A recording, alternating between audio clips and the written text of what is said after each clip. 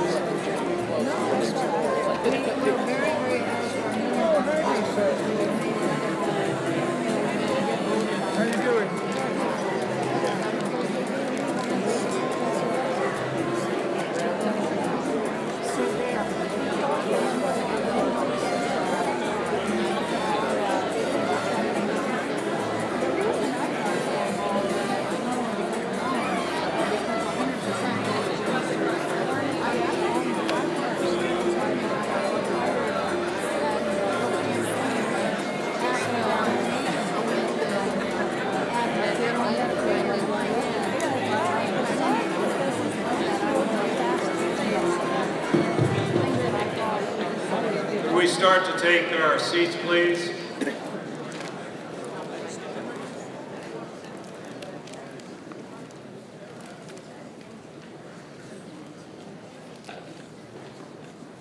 If we don't, John Criollo is going to be very upset. He accuses us if we're a few minutes late of being on Hawaii time. Not quite that bad. Yourselves a seat, folks. Thanks. Do me a favor, before we begin tonight's opening ceremonies, take your electronic devices and pretend like you're in church.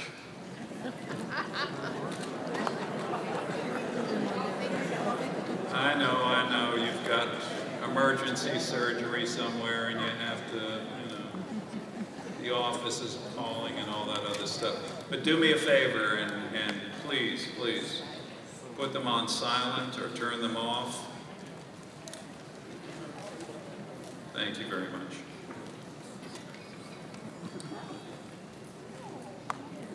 For those of you who don't know me yet, my name is Ken Thomas. I'm the immediate past president of the Florida Federation of Chapters, also known as NARFE Florida. I would like to welcome you to the 33rd Biennial Convention of the National Active and Retired Federal Employees Association. We're going to start off with a Hawaiian prayer by John Criollo of the Hawaii Federation.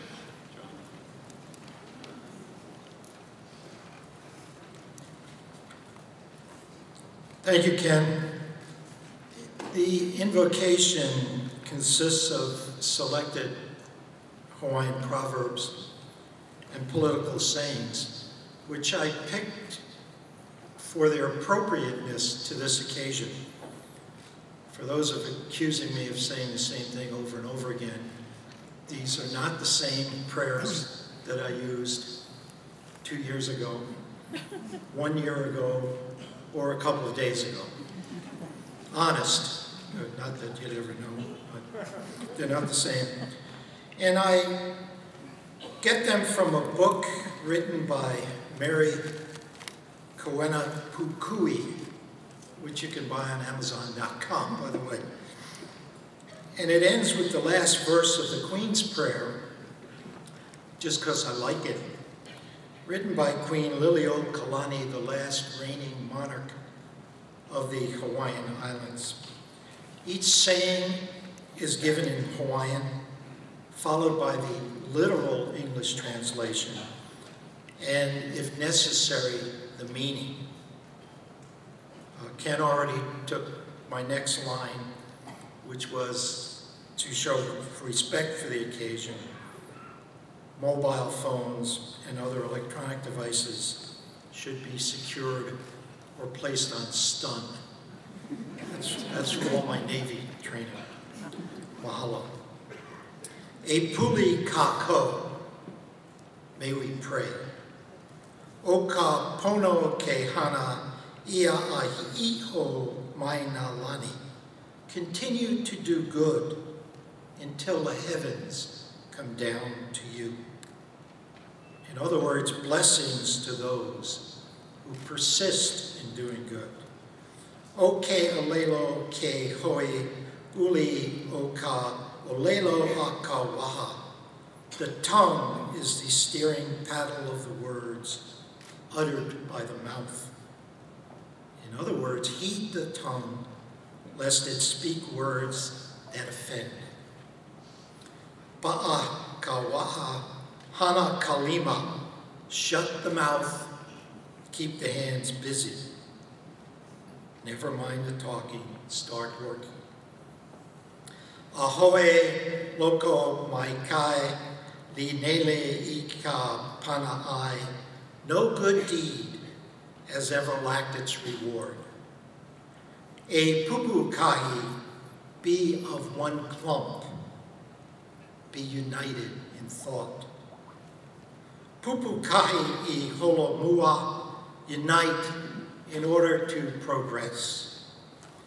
E iki ana ia a ka pono, it is recognizing of the right thing. one has seen the right thing to do and has done it. Nalaila e ka haku malalo o ko e hui, ko makau malohia amau loa no amene. And so, Lord, protect us beneath your wings, and let peace be our portion, now and forevermore. Amen. Thank you.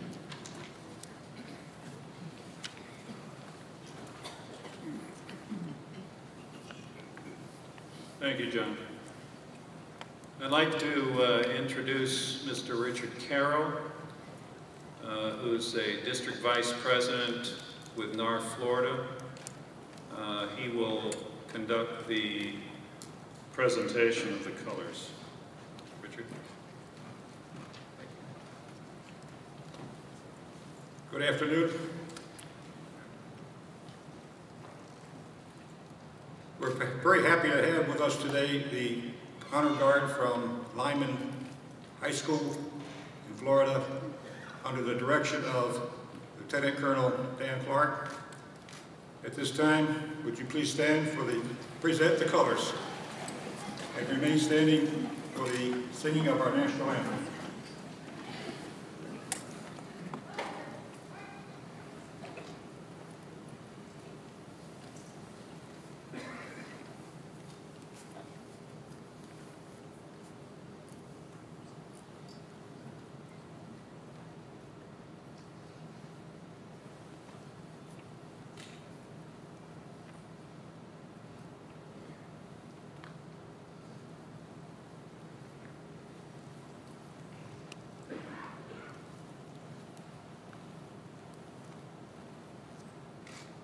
Mark time. Mark. Glengar. Halt. Left. Base. Barry. Colors. Present. Colors.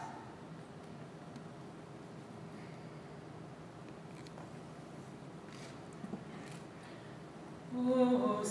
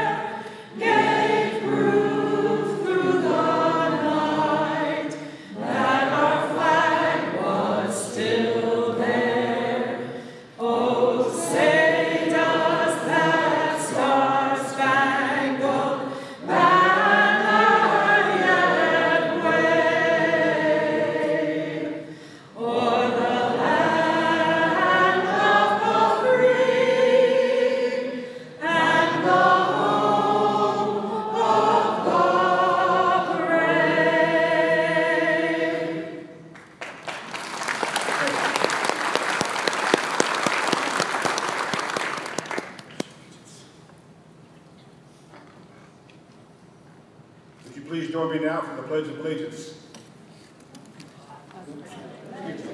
Oh, I'm sorry. Excuse me. Uh, At this time, I want to introduce to you uh, Chris Haley, Major, United States Army.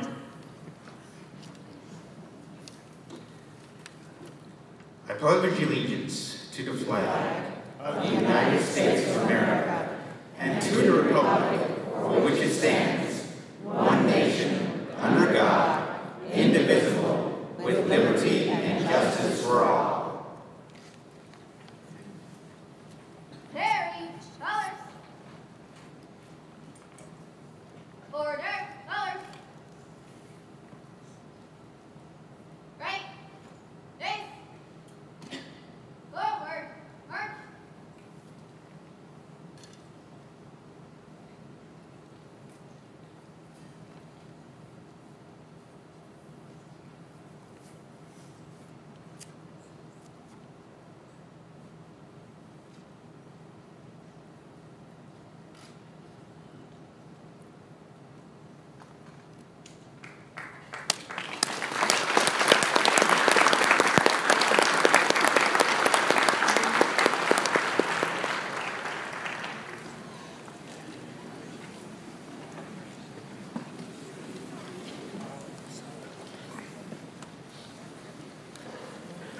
There's a young man sitting up here in the stage who we have come to know over the past few years, who I've had the pleasure of being in meetings with, as have the other officers within NARFE, and who's quite a celebrity. One morning when I was uh, having my coffee and doing my second push-up of the day, along comes the Today Show. And for about 10 minutes, I was watching this particular person, that they were doing a story on. And when he first came on, I immediately reached for the telephone after screaming for my wife, Arlette, you need to come and see this. And I started dialing this hotel's number. Now I can get probably through eh, maybe 10 push-ups in the morning. This gentleman does about 2,000. He is probably one of the fittest individuals that I know. But I would like to introduce the person who really is the host of this convention and who happens to be the proprietor of this particular hotel, who treats his staff so well that nobody ever wants to leave here, and who does more to giving back to this community than anyone else that I know of, Mr. Harris Rosen.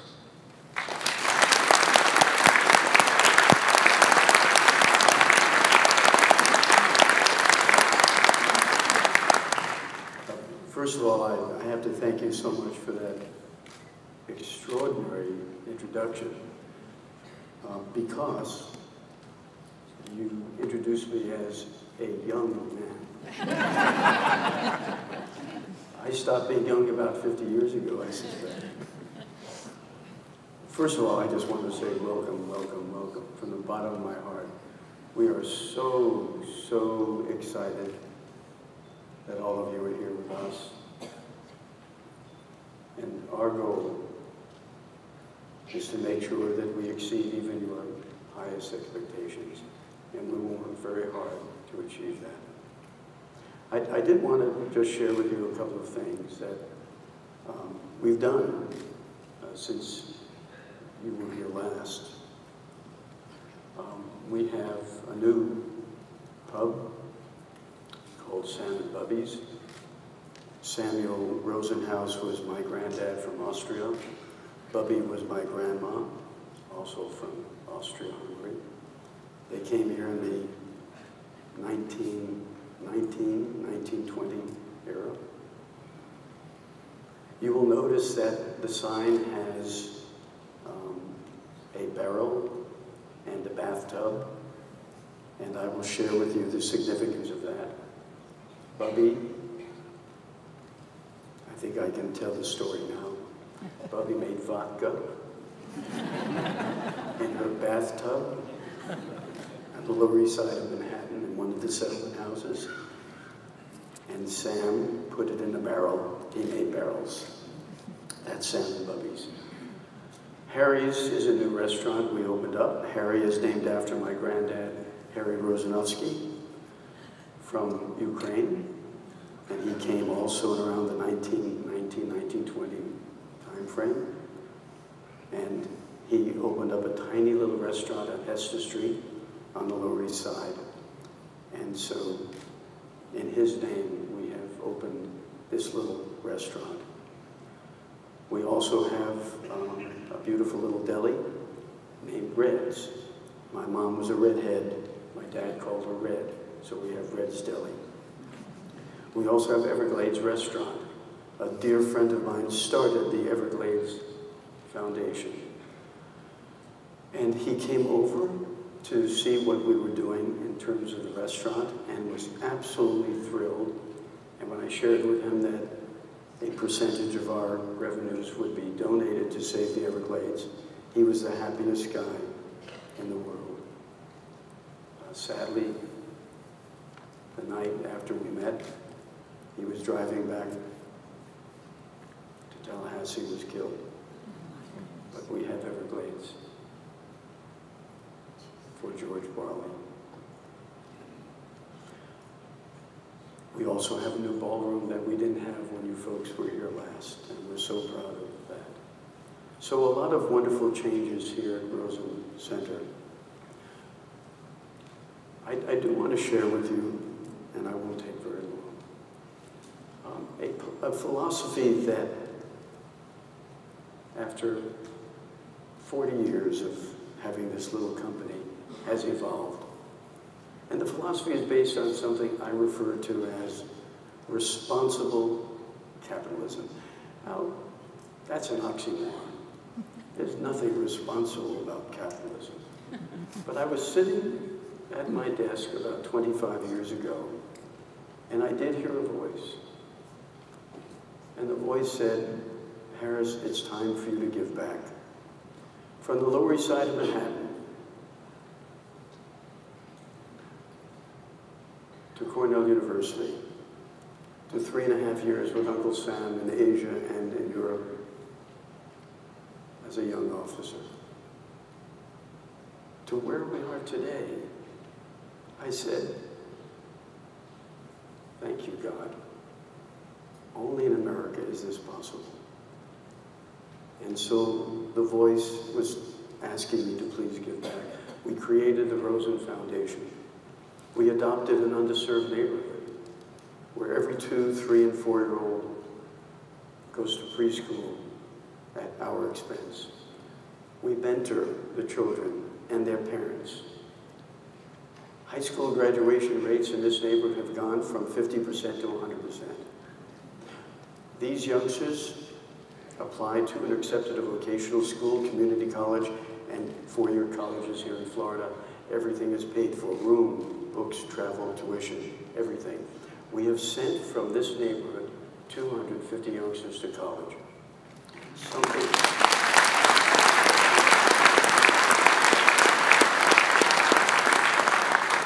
Something that heretofore would have been impossible. We created the Rosen College of Hospitality Management. Started with 100 students, today we have 3,500. The fastest growing college in the United States.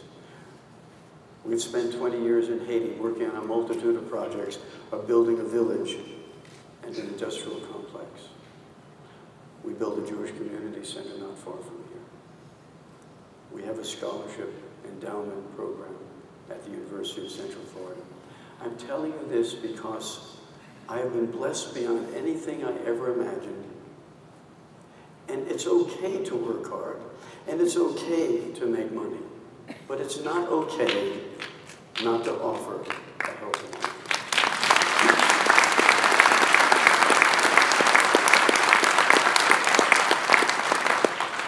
My dream, and I was in Atlanta not too long ago, and Dr. King's family was sitting there in the first row. And I turned to Bernice King and I said, May I have a dream also? And she said, Of course.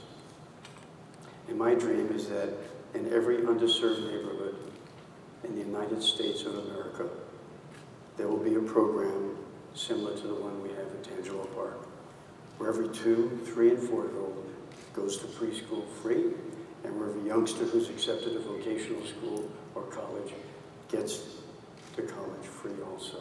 That's my dream. And I've not made this announcement formally, but I'm going to announce it here. In Central Florida, we have a, a neighborhood in downtown Orlando called the Parramore neighborhood. It's a tough neighborhood. But within the next 30 days, we're going to announce that we're going to replicate in Parramore what we've done at Tangelo Park. So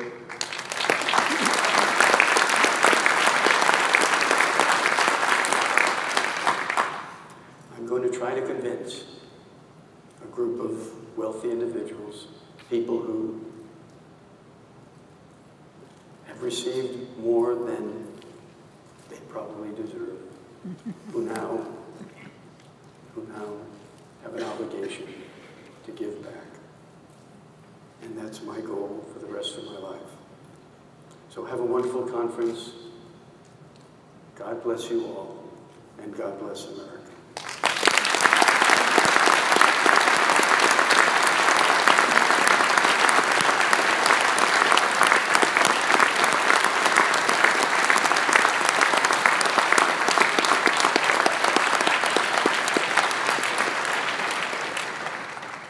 It's my honor to give uh, Mr. Rosen a citation for distinguished service, in appreciation for your excellent support of the 33rd NARFE 2014 National Convention of the National Active and Retired Federal Employees Association, as well as a small gift.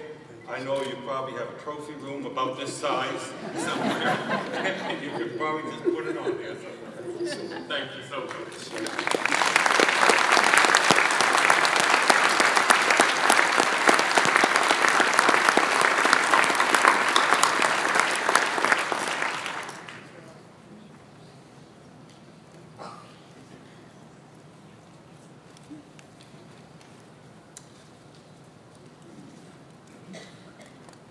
Somebody have a uh, program book?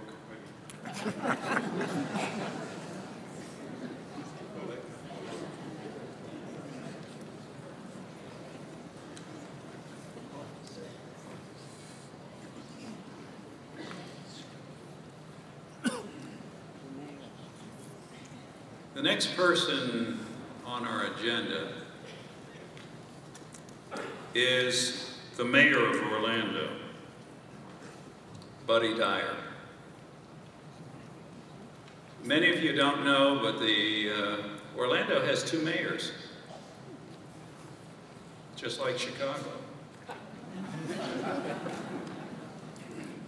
I can say that because that's where my wife is from, and that's where her family is from. That's where some of you are from. They've got the real mayor, and then they've got the one that's deceased, but who still runs the city. The city of Orlando, though, actually does have two mayors. Uh, one actually is responsible for the county. Don't ask me how a county has a mayor. Usually cities do. But anyway, they have a county mayor and they have a city mayor. Buddy Dyer is sort of an institution here in Orlando. He's one of these people who would come through the door dressed like Clarabelle the Clown, for those of you who remember Howdy Doody. And you'd never guess that he was actually the mayor, but he is, and he does a remarkable job in one of the most important cities in our state. So he was unfortunately, he could not be in two places at once. And no, he is not out on the campaign trail raising money, but instead he had some other business to take care of, so he sends his greetings. And let me read his greetings for you. On behalf of the City of Orlando, I would like to welcome you to the 33rd Biennial National Convention of the National Active and Retired Federal Employees Association. While you are visiting Orlando, I encourage you to experience all the things that make Orlando one of the fastest growing, most business friendly, and quality of life centered cities in our nation. Underneath a skyline that has doubled in just the last five years, our dynamic, bustling downtown is alive with fine dining, exciting nightlife, fabulous shopping, year-round outdoor activities, arts and culture, professional sports, and abundant parks. Our vibrant and diverse culture is evidenced by the many distinctive neighborhoods that dot our city. I invite you to walk our red brick tree-lined streets, visit our beautiful historic districts, or our downtown arts district, and take in Orlando's crown jewel, Lake Eola Park. Again, welcome to Orlando. We are happy to have you here and hope you enjoy taking part in the wonderful experiences that can only be found here. Best wishes to all, and I wish you continued success. Sincerely, Buddy Dyer, the Mayor of Orlando.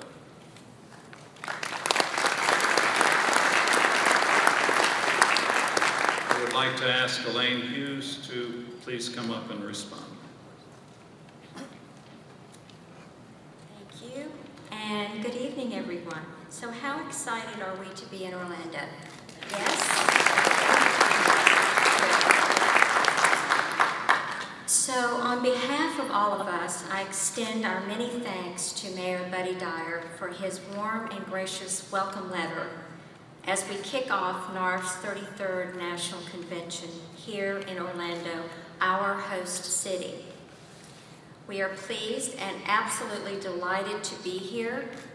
Orlando is truly a great city to conduct the business of NARFE as well as have a little bit of fun.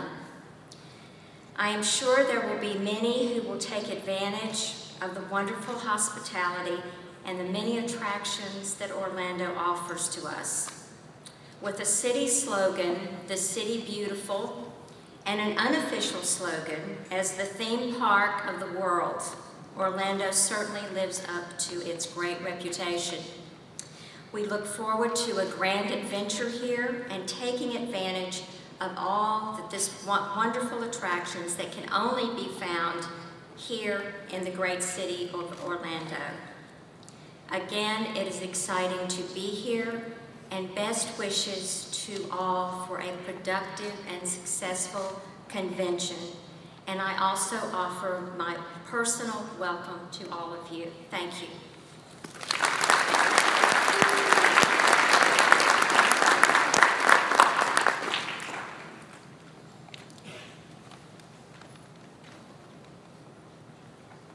In order for this to be a convention, we have to have something that officially starts it off.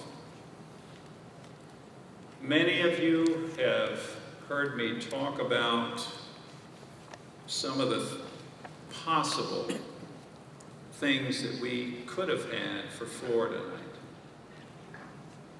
One of them was Dangerous Dan, the alligator man. At the time when I presented this to the host committee, they thought that, you know, Ken, it's time for you to take a rest.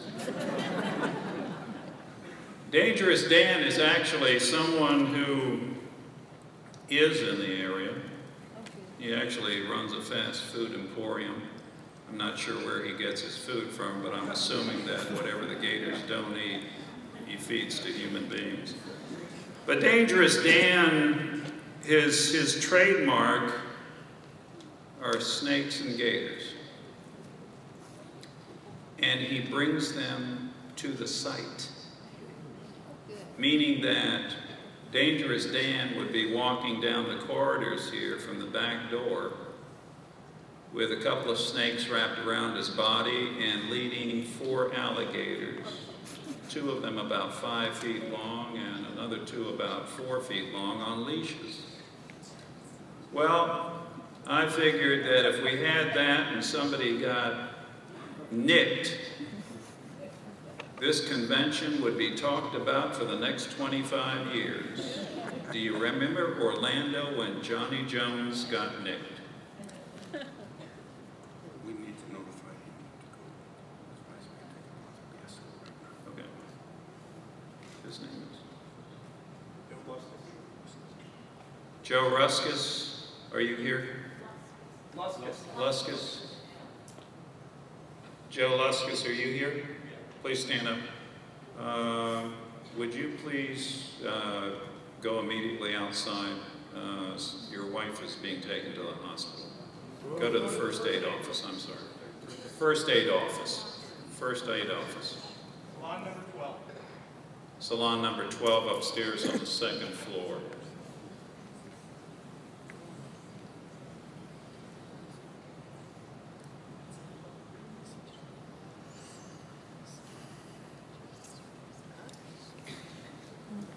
guess Dangerous Dan was here already.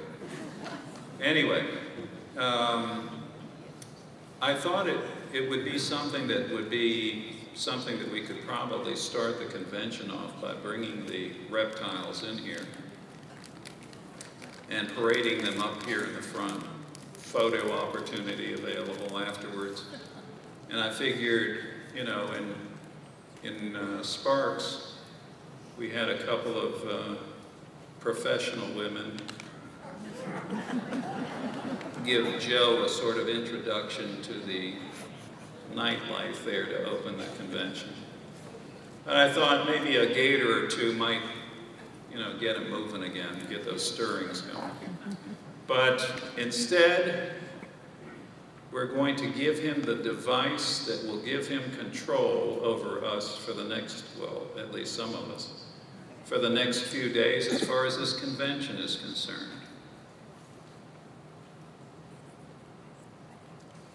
So, Mr. Bowden, I'd like to, to present to you the gavel signifying your control of the convention. you, sir. Uh, thank you, sir.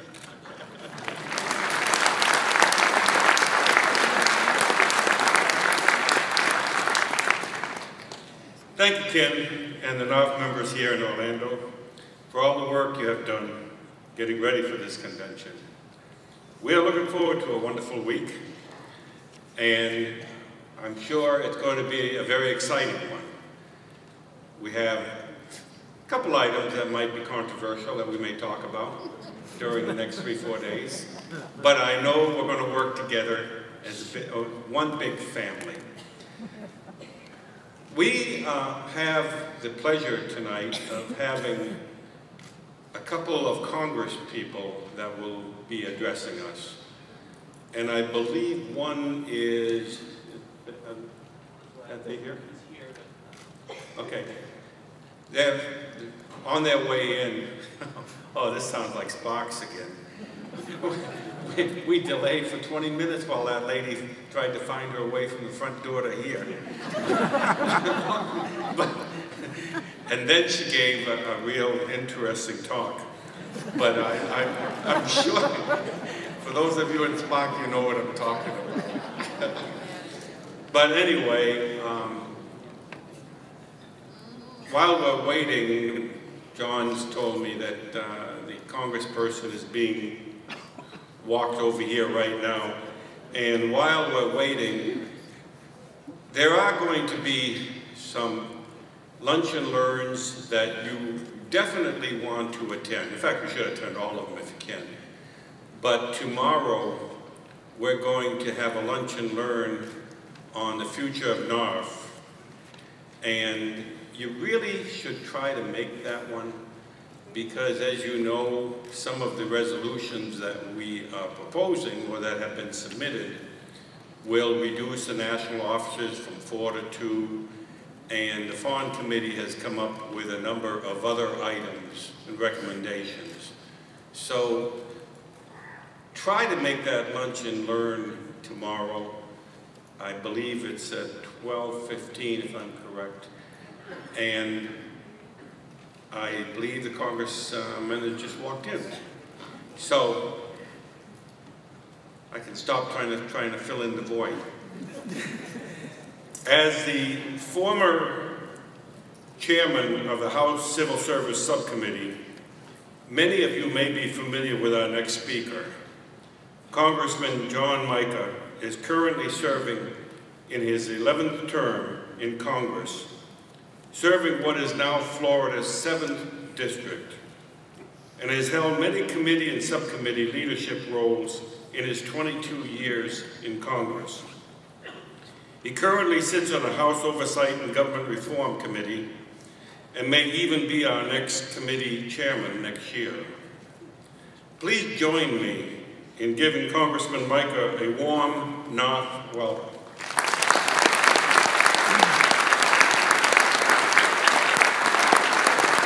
Thank you, Joe. Thank you so much. Welcome, ladies and gentlemen. Welcome, federal employees, uh, both current and also retired. Uh, thank you for your service and uh, your years of dedication to the American people and helping make our government uh, uh, work and also assist those that we all represent. Welcome to Central Florida. My district is just a little bit to the north here.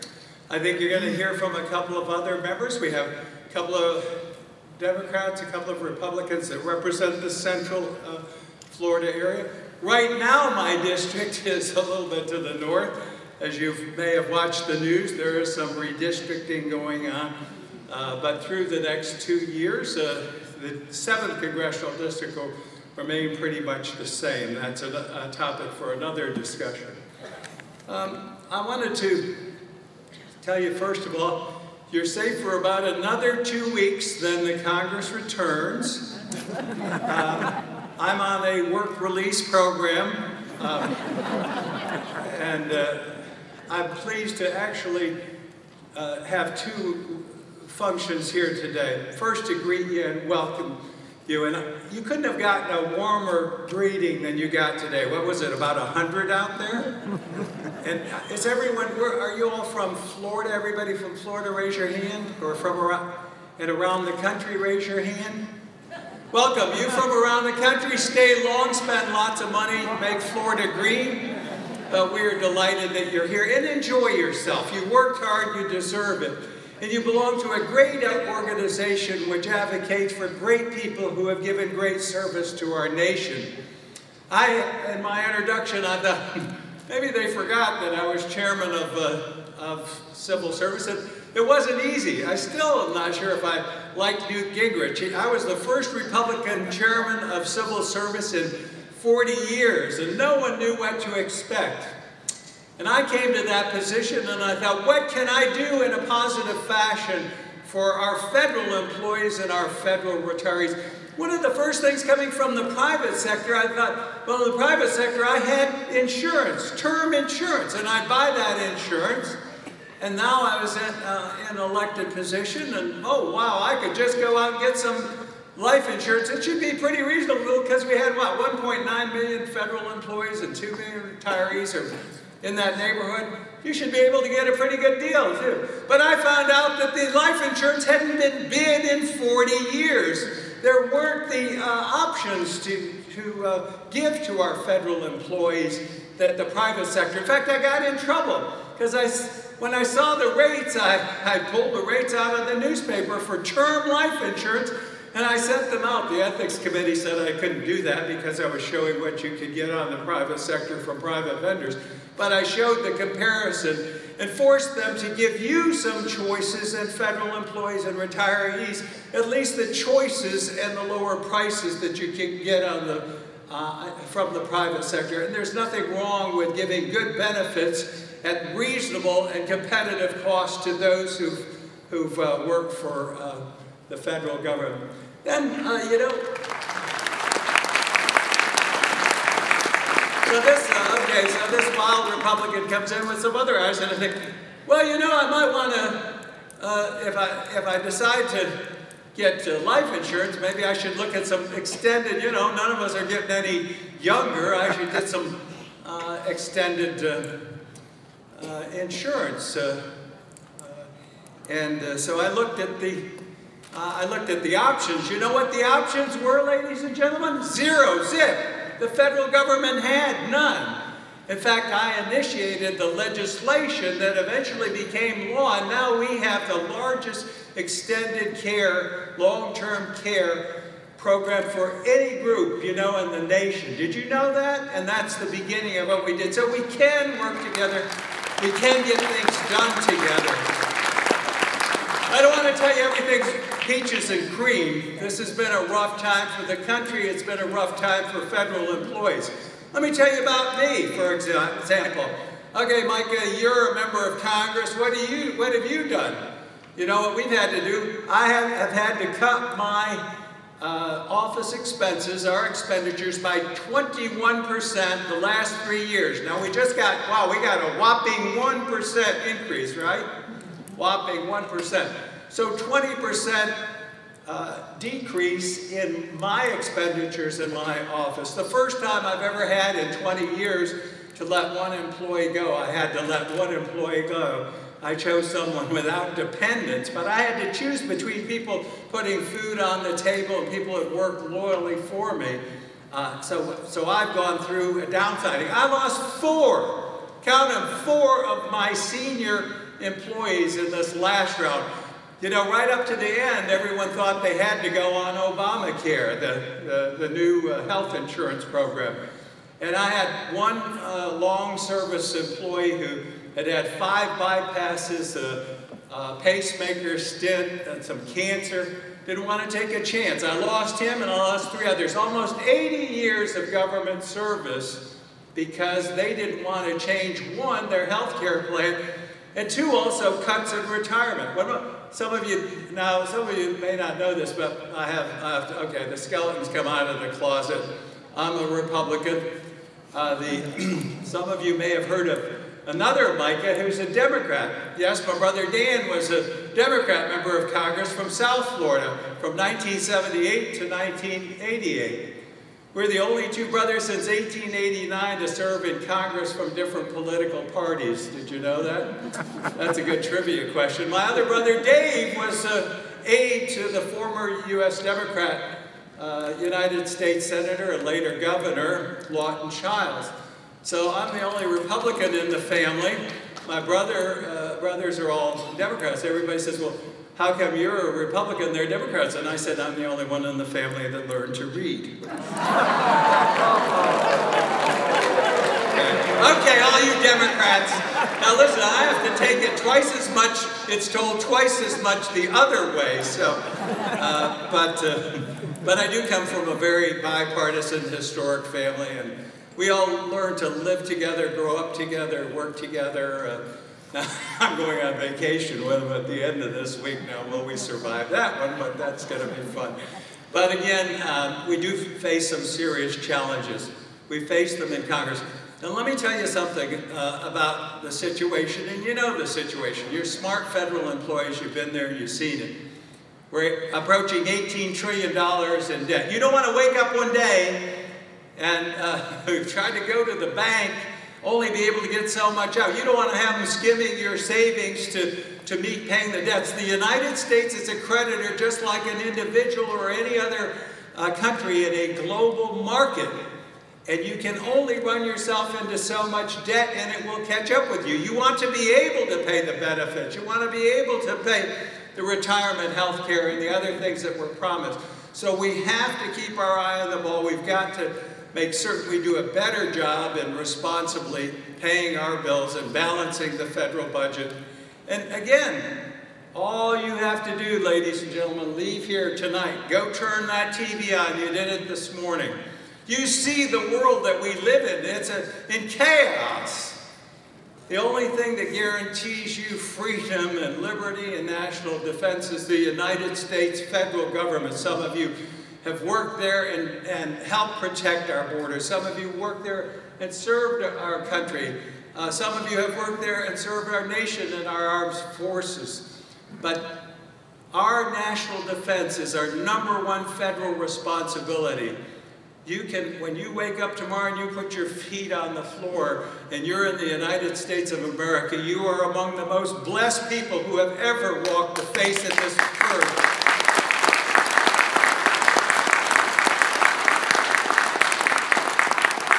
So we have some challenges, and you know, I've, I've chaired the Transportation Committee. I'm the first chair, full committee chairman from this particular area. Uh, my predecessor, a Democrat, took him 32 years to become chairman, a Republican chairman before that, 28 years. And look how young I am. Uh, just, uh, but uh, uh, I found, uh, maybe it is my background, my family, my attitude, you can accomplish anything you want if you work together. And there are challenges, there are differences. Now, how many of you have been married? Raise your hands. Okay, okay. Then you know about those differences. This week, my wife celebrated 42 years that we haven't killed each other. but uh, again, you learn to live with each other. You re realize the differences we have as individuals and uh, and the most important thing is moving forward uh, together for the country. So I'm pleased to be with you. I looked at some, I look at your legislative goals. There's some I agree with, there's some we may disagree with. There's some we can accomplish, but we can, what we can do is specify the things that we can do together I've done it. I passed, uh, the, my Democrat predecessors couldn't pass a transportation bill, very important to the country. 20 times they couldn't pass an FAA bill. They controlled the House, the Senate, the White House. I passed every one of them. I passed the Coast Guard bill they hadn't been able to pass. Passed a pipeline safety bill. Henry Waxman, one of the most liberal members of Congress, was one of the first to sign the conference report. So don't anyone tell me Republicans and Democrats can't work together for the benefit of the United States of America and the citizens we represent.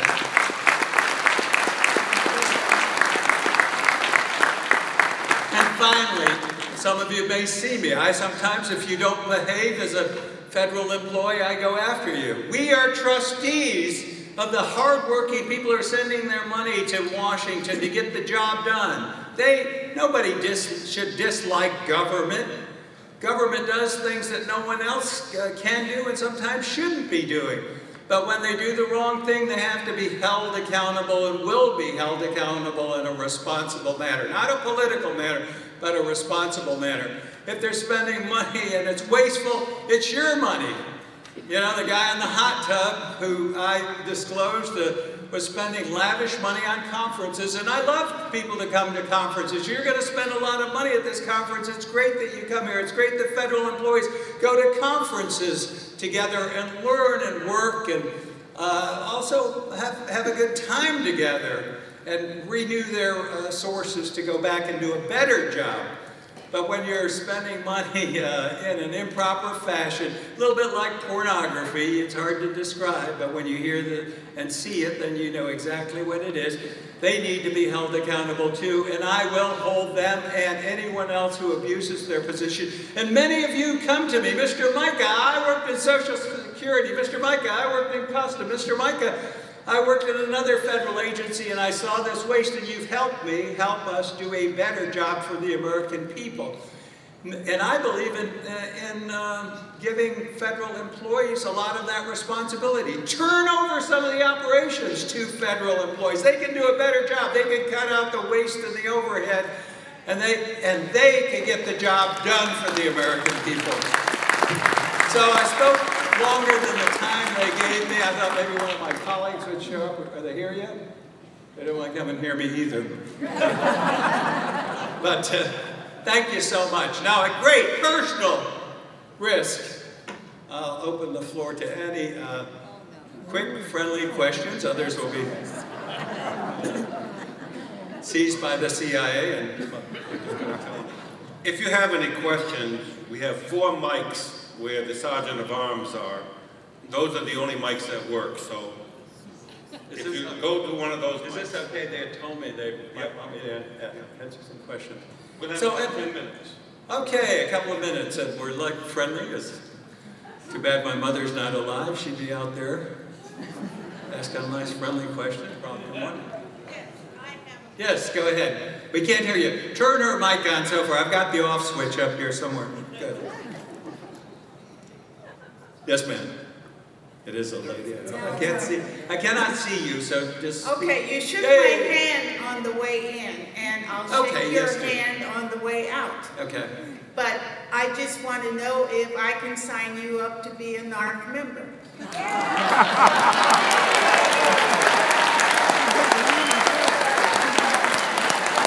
I- Not if I have to lose the election to do that.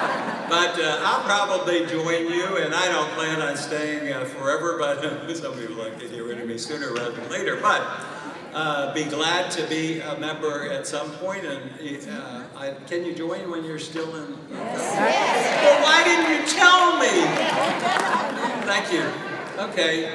I hope it's not too much. God, there goes more money. I don't even join all the chambers of commerce because it's too expensive. Go ahead, you're dealing with Yes, good evening. Yes. Um, I am a Federation president from the state of Kansas, and I am a current federal employee. Mm-hmm. Okay, my suggestion is since you're talking about how federal employees know how best to save money, this whole thing about lose, use it or lose it, the budget is got to go. A government agency that is good at budgeting should not be um, get a slap on the hand and told that if you don't spend it, you don't need it for next year. Absolutely. This lady's correct. The other thing, too, folks, now listen to this. Uh, more than half the members of Congress have been there for less than two terms. Not too long ago, when we were trying to do the budget, um, I was sitting with one of my senior colleagues from Florida, and everybody at the table was having lunch with us, a little brown bag lunch, were what I call junior members. They just got elected. None of them had been there when we had passed a budget. Think about that. The federal government did not pass a budget in five years. You know the turmoil that leaves your agency. You can't run a government by continuing resolutions. You need to step up to the plate, pass legislation to make the government work, and, and uh, get the job done. Now, I got criticized for voting for the budget. I voted for the budget. I didn't want turmoil. I have 2,800 federal employees right out here in my district, the newer part of my district on the east side. And I I don't want to go back to them and tell them that we don't have a budget, we don't have any stability. And, and cuts that would have taken place through sequestration. No one thought sequestration would, would take place. But arbitrary cuts would have devastated uh, a lot of our folks. So yes, we had to have a budget. Yes, we should have a budget. And yes, we should not uh, force agencies or put them in a position where money at the end, end of the fiscal year, uh, spend it, uh, move it, or lose it. That's wrong. Next. Seven? Seven? Go ahead. Virginia Camella, Chapter 817, D, delightful D-Land, Florida, formerly in your district, uh, not currently. Where, where, DeLand? DeLand. Yes. Yeah, I still have the edge. I might be coming closer after this redistricting. I think it, it looks like it was, yeah, yeah, you're going to be, pick up Orange City. Half my chapter will be, pit- are, in- are in your district. Um, and I'm also the District Three Vice President of NAR, uh, NAR, Florida, which includes Orlando, Seminole County, and Volusia County, which uh, coincides. I have eight, uh, seven other districts that are also in the district, uh, congressional districts. And what I want to ask you is, are you, will you be willing to meet with a committee of uh, NARFE Oh, always. And officials? I, I I love to uh, meet, speak, attend. Now, when we're in session, I can't come down, but just, and I have an aide here, someone, the, the guy with the silk jacket on over here and the Gucci uh, shoes. Just kidding. He's actually goes to UCF and he's uh, in some pretty, but be glad to get him the information and we'll do it. Maybe we can do it in October when we're on our next work release program. Next, you got some over here? He looks like a friendly gentleman. Go right ahead. Number 10. 10. This automated, incredible system. Yep. Go ahead. Can you activate Tim? Press the button. You guys paid a lot of money for this audio visual. I want, I want some of that discounted for these folks. Go ahead. I'm sorry, I'm sorry, Congressman, but I have to take very strong, strong exception to your comment about Obamacare. When Obamacare was instituted, its main intention was to help those without insurance.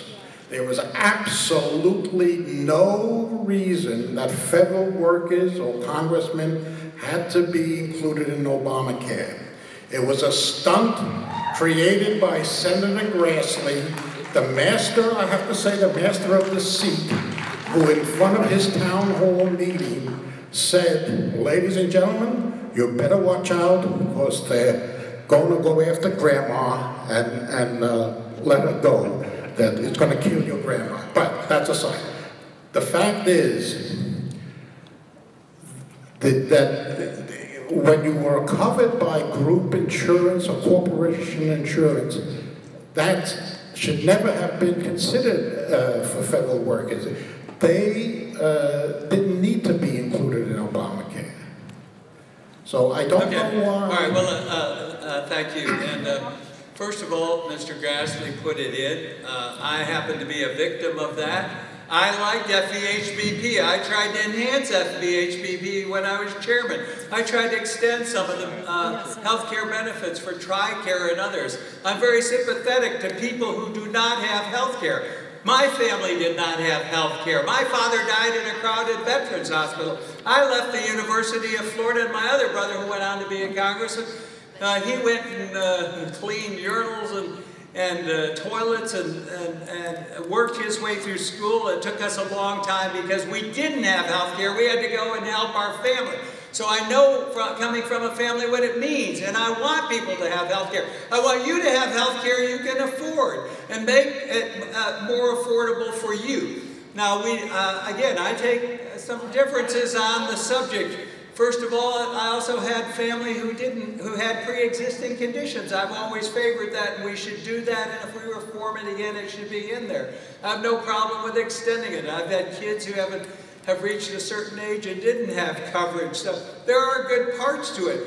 But the president himself has changed it some 30, 40 times uh, to what we did. And again, there are still millions of people who do not have health care who need to have health care. What we need to do is bring the cost down for everyone, including federal retirees and federal employees. And we can do that with some measures, opening competition, a little bit on the liability and tort reform. So yes, there are some health care proposals that I can support.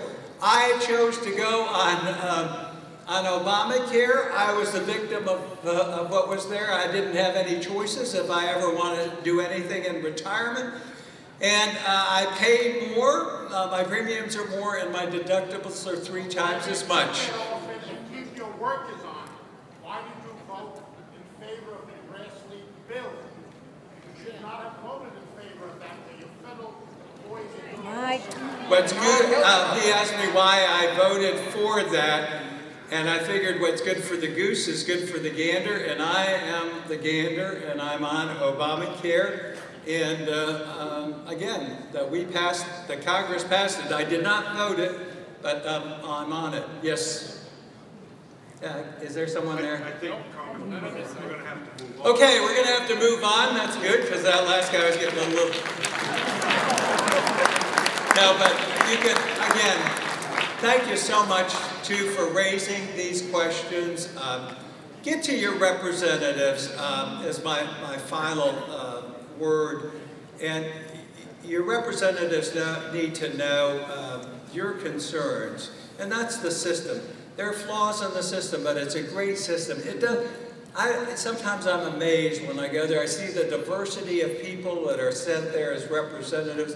But the Founding Father did an incredible job in creating a system that sometimes doesn't quite work. And uh, sometimes it's very loud and sometimes it's very, uh, there's a lot of debate and discussion.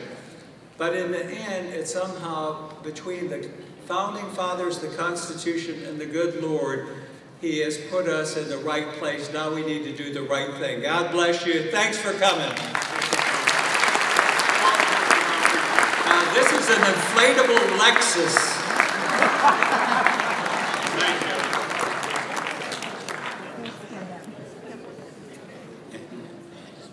Jesse, the, the next one's not here, right? Okay. Okay, we're going to go on to the memorial service. Ken?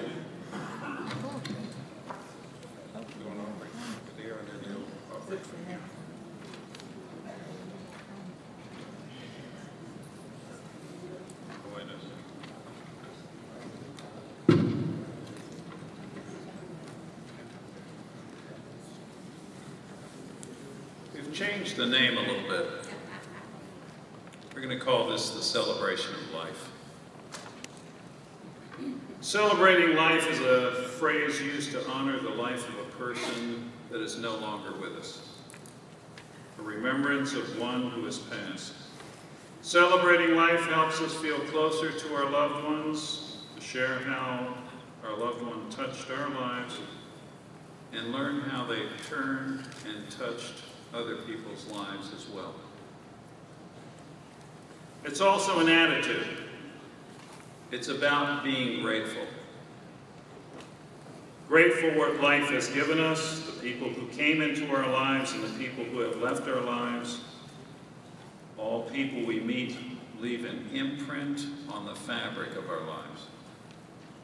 Some things we have learned, one of those things is that the grand show is eternal.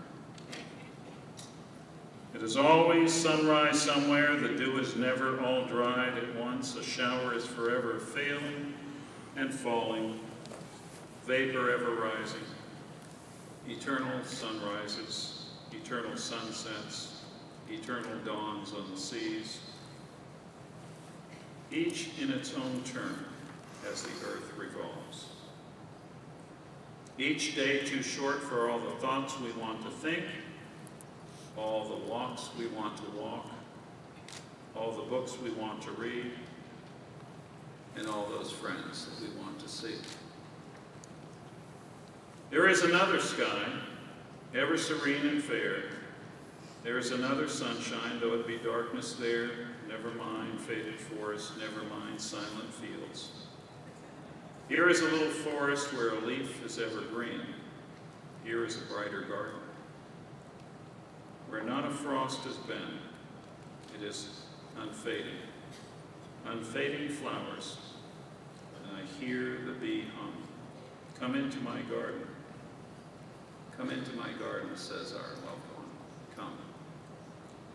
I'd like to ask the Regional Vice President for Region 1, Mr. Arthur Pike, to please come forward to report on Region 1 member deaths since the 2012 National Convention.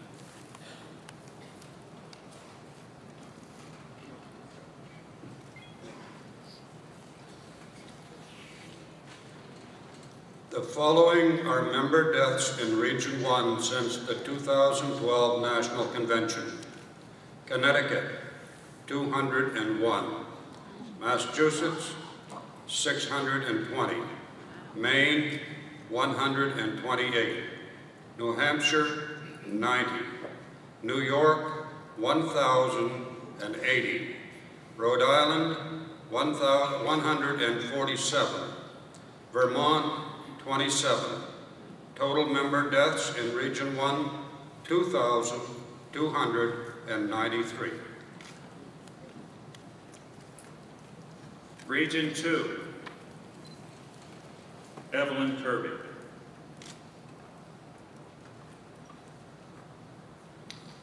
Good afternoon. The following are member deaths in Region 2 since the 2012 National Convention. District of Columbia, 148. Delaware, 63.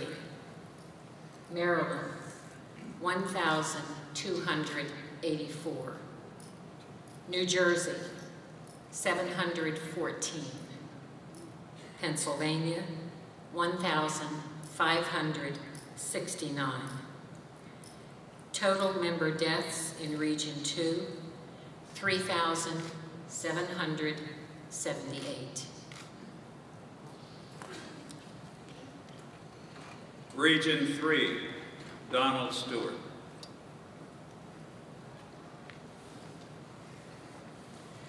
The following are member deaths in Region 3 since the 2012 National Convention. Alabama, 500. Florida, 1,839. Georgia, 607. Mississippi, 182. Puerto Rico, the Virgin Islands, 64. South Carolina, 250. Total member deaths in Region 3, 3,442. Region 4, Paul Johnson.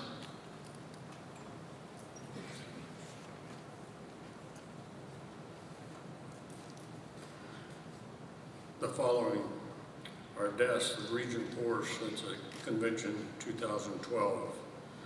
Illinois, 643. Indiana, 341. Michigan, 492. Ohio, 766. Wisconsin, 356. Total deaths in Region 4, 2598. Region 5, Carol Eck.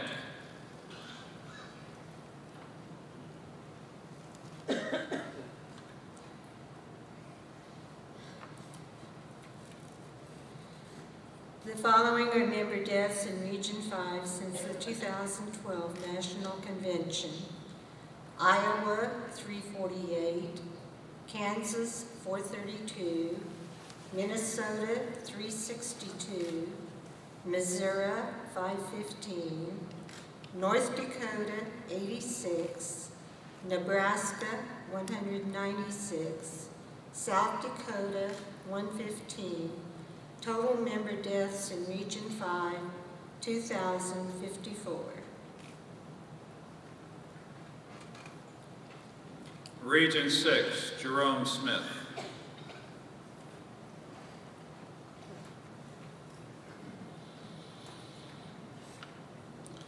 Following are the number of deaths in the past two years from Region 6. Arkansas, 277. Louisiana, 291. Oklahoma, 401. The Republic of Panama, 171. Texas, 1,124. The total member deaths in Region 6 in the past two years, 2,264. Region 7, Frank Impina.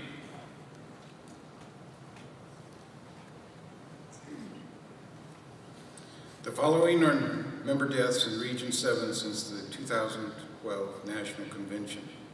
Arizona, 493. Colorado, 436. New Mexico, 202. Utah, 133. And Wyoming, 44. Total member deaths in Region 7, 1,308. Region 8, Helen Sajak.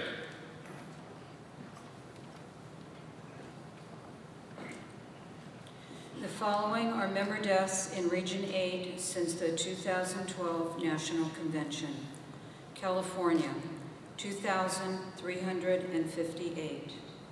Guam, 11.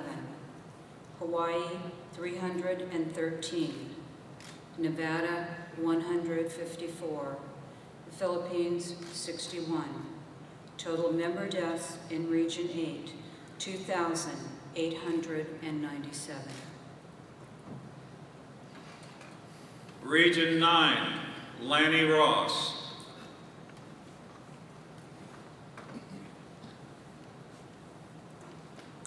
The following are members' deaths within Region 9 since the 2012 National Convention. Alaska 57, Idaho 96, Montana 108, Oregon 338, Washington State 712. The total member deaths in Region 9, 1,311. May they all rest in peace. Region 10, William Martin.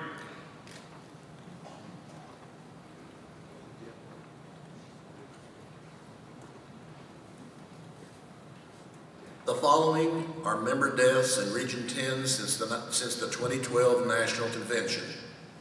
Kentucky, 270. North Carolina, 507. Tennessee, 343. Virginia, 1,192. West Virginia, 121. E chapter, 2363, 157. Total member deaths in Region 10, 2,590. Again, may they all rest in peace.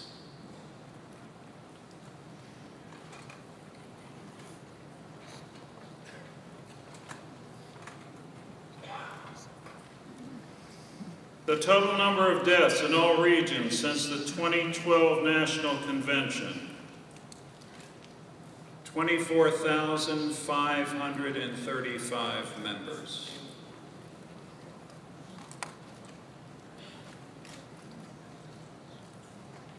I will now ask Rebecca Silverstein and our chapter 1224, the Strawberry Chapter, to sing the inspirational song, Golden Dream.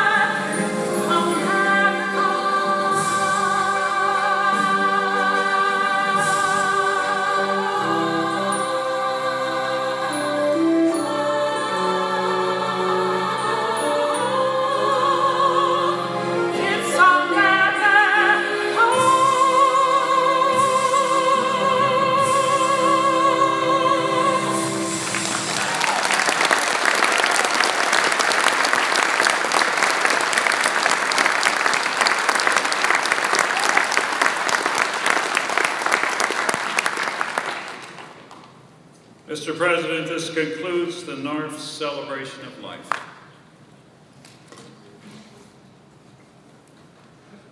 Thank you, Ken. That was very inspiring.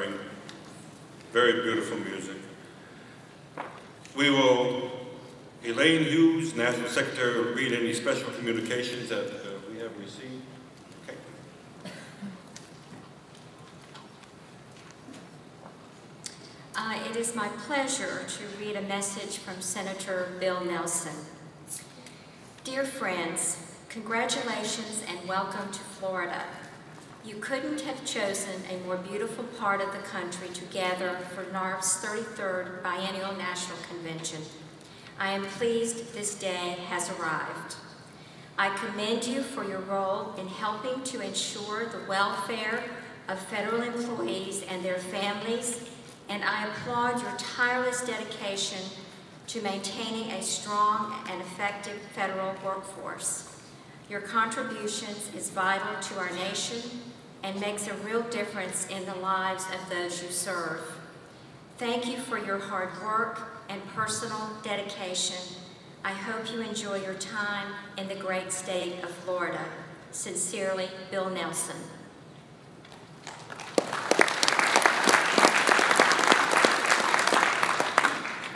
Thank you, Elaine. And uh, now we will move into the Alzheimer's Committee report. To give you the report is Jane Rogers, chairperson of the Alzheimer's Committee. Jane will also introduce the two Alzheimer's speakers.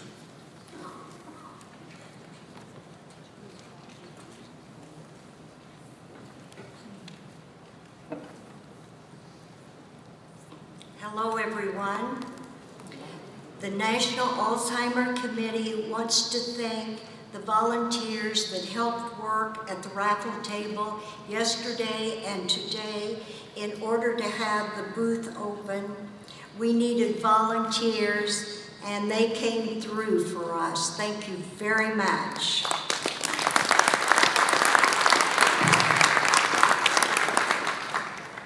I'd like to make some introductions. On stage, our guest here from the Alzheimer's Association in Chicago, we have Danielle Engel. She's the senior.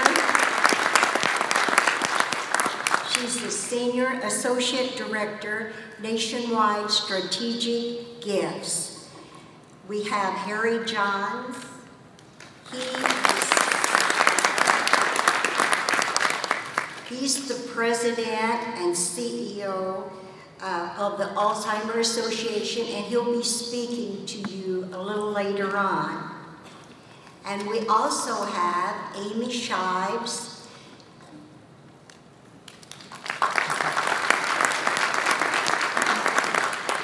And Amy is a national early stage advisor, and Amy will also be speaking to you. Let's welcome our guests.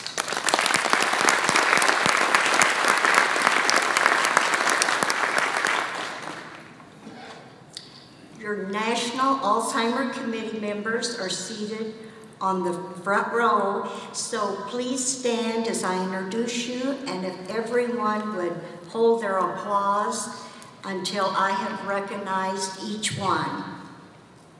Absent is Dennis Gowron. He's from New York, uh, Region 1. He had a prior commitment. James Boyle from New Jersey. He's Region 2. Peggy Harrell from Alabama, Region 3. And I'm from Indiana, and I represent Region 4. Janice Newshafer from Kansas, Region 5, Helen Landry from Louisiana, Region 6, Merv Stuckey from Arizona, Region 7. Absent is George Rajewski from Nevada, he's Region 8. Jen Bogoslawski, she's from Idaho, Region 9. Clara Weston is from North Carolina, she is Region Region 10.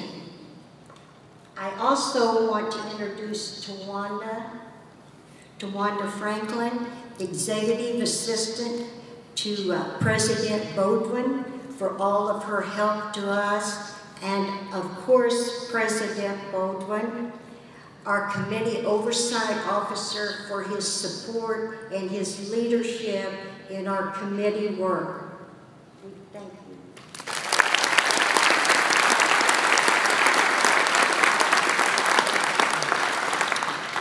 I would like to review some highlights of our meeting. Danielle has reported the latest figure and we will be getting updates Monday or Tuesday, but we now are at ten million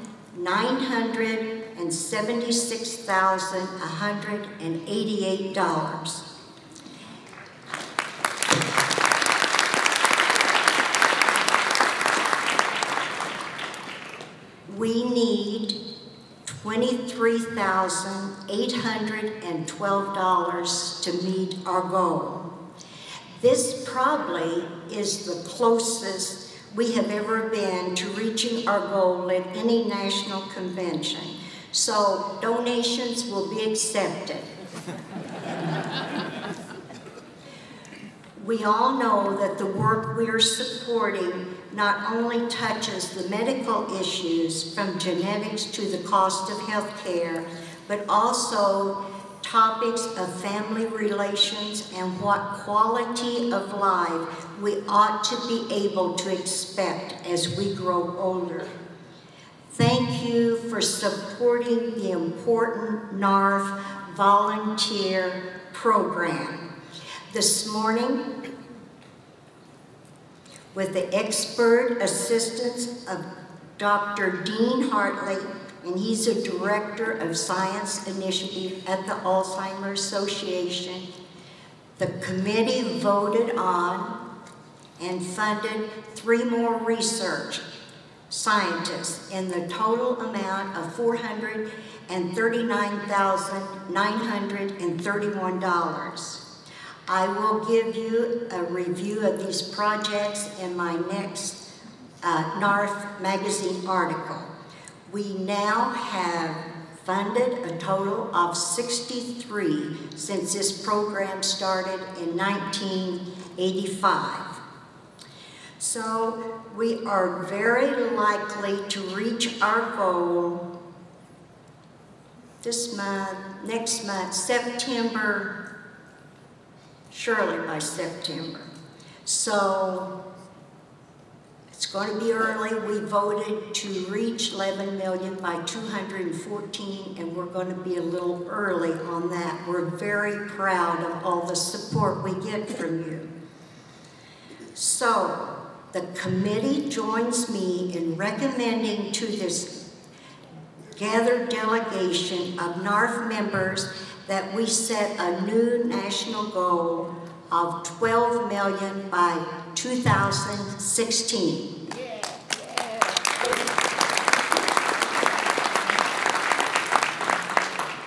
To take effect once we have reached the current goal.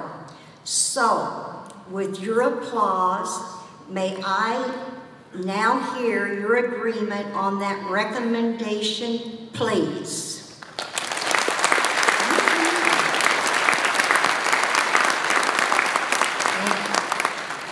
Now my, may I hear from those that are not in agreement, thank you. I'll take that as an affirmative.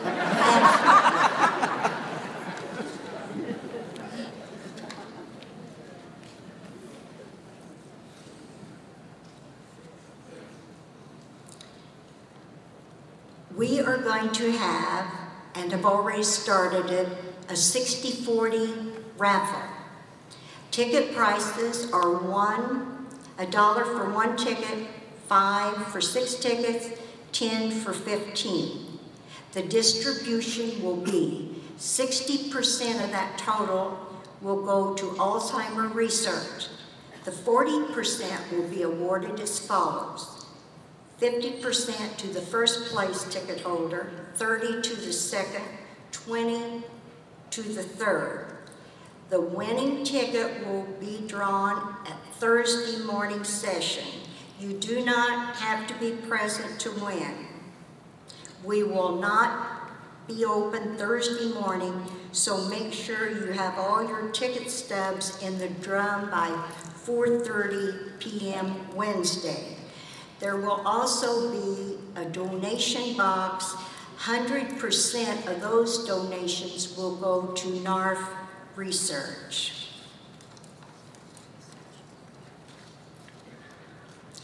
We do have promotional material on display at the tables. These are items that the Federation and chapters can order directly from the Alzheimer's Association. They are providing these for us at no charge. So do take advantage of this. Use them during your fundraising or recruiting events. It provides an opportunity to brag about what we are doing, which is great public relations. We have lots of supplies. Take them back.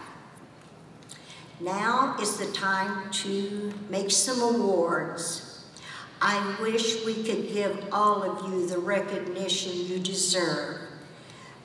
But the Federation who contributed the most in terms of total dollars during the fiscal year is from Region 10, Virginia.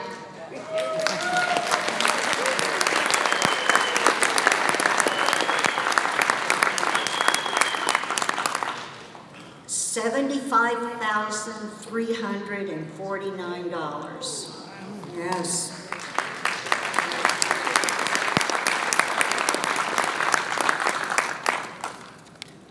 Would the Virginia Federation President Richard Gingerelli and Donald Donna Shackelford, the Federation Alzheimer Coordinator, please come forward? Okay. While they're coming up, you're a little fast for me.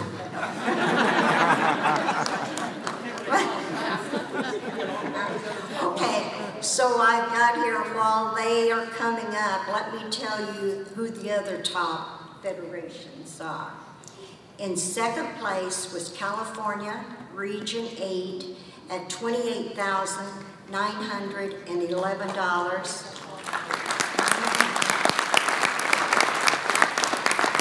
Third place was North Carolina, Region 10, at $23,253.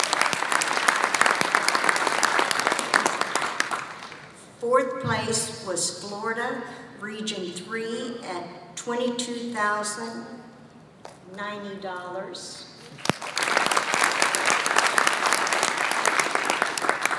Fifth place was Kansas, Region 5, at $21,975.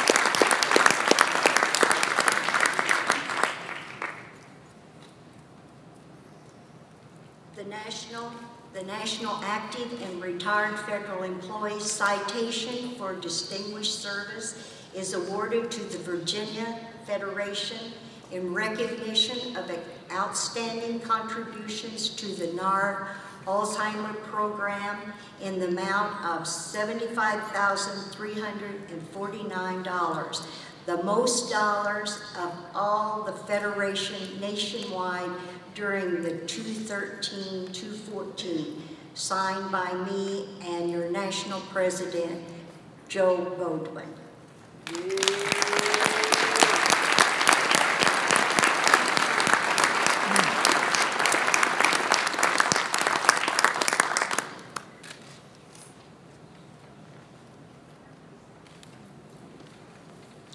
Now for the per capita category. This year, the Federation, who contributed the most in terms of per capita, goes to Delaware, Region 2. And,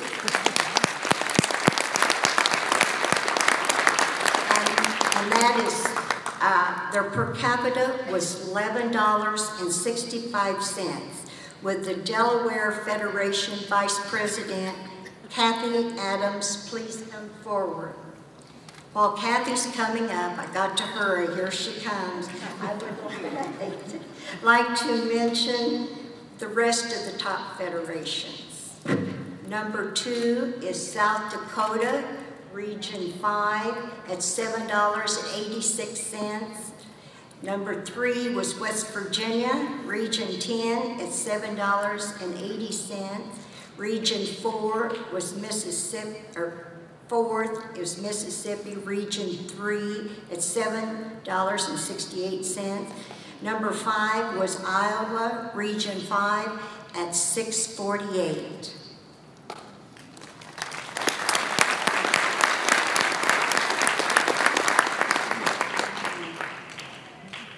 The National Active and retired federal employees. Citation for distinguished service is awarded to the Delaware Federation in recognition of outstanding contributions to the NARFE Alzheimer program in the amount of $11.65 per capita.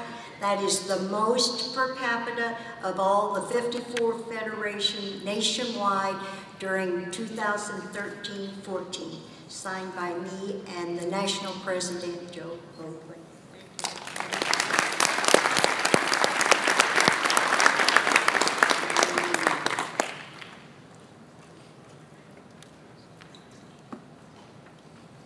I also want to mention the NARFE chapter 1270 Woodbridge, Virginia was the top chapter in the nation with $15,831 in donations.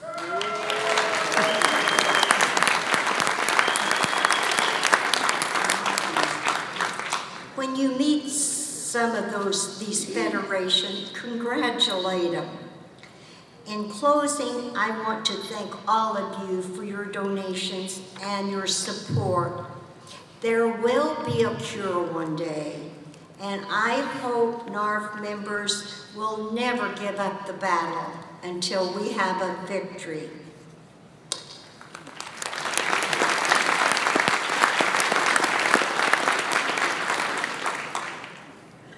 I would like to introduce our first speaker, is Amy Shives, who was diagnosed with younger onset Alzheimer's disease in 2011. Amy graduated from Western Washington University in 1979 with a Bachelor's of Arts degree in psychology. Amy went on to receive a master's in education with a concentration in student personnel administration. For over 25 years, she was a faculty member at the Spokane Community College where she worked as a school counselor. Amy is a member of the Alzheimer's Association Inland Northwest chapter and serves on the chapter board as an ambassador to U.S. Representative Cathy McMorris Rodgers from Washington State, as well as a Walk to End Alzheimer Committee member and a team captain. She's an active participant on the Washington State Policy Committee and has participated in numerous local media and speaking engagements. As a member of the Alzheimer Association 214 National Early Stage Advisory Group, Amy would like to reduce the stigma surrounding Alzheimer's and dispel the myth that the disease only impacts the elderly. Amy lives in Spokane with her spouse. Together, they have two daughters. Please welcome Amy.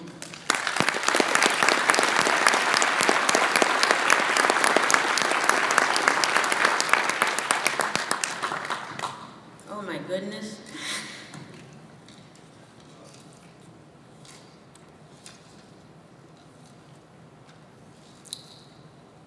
Well, on a lighter note, I needed to say today that you folks surely can pick a nice place for a convention. The gift shop here even has Mickey Mouses to bring to the grandkids, and you don't have to even go to Disney World. My compliments to your planning committee. As you can see in the program, I am speaking to you before the president and CEO of the Alzheimer's Association, Mr. Harry Johns. I feel like the warm-up band. I do have Alzheimer's disease, as that was stated, so I will be reading you, reading to you tonight. Thank you so very much for inviting me here today. It is an honor and a privilege to speak to you about my experience living with Alzheimer's disease. Alzheimer's has been part of my life since I was a young child. My mother began showing symptoms of the disease in her early 50s. As a family, we did not know uh, or understand why our mother's personality was changing, and we were left with many unanswered questions about the cause of her symptoms. My mother became isolated, angry, disinterested, and generally detached from her children. Growing up in a family with so much uncertainty and disconnection had a significant impact on my development.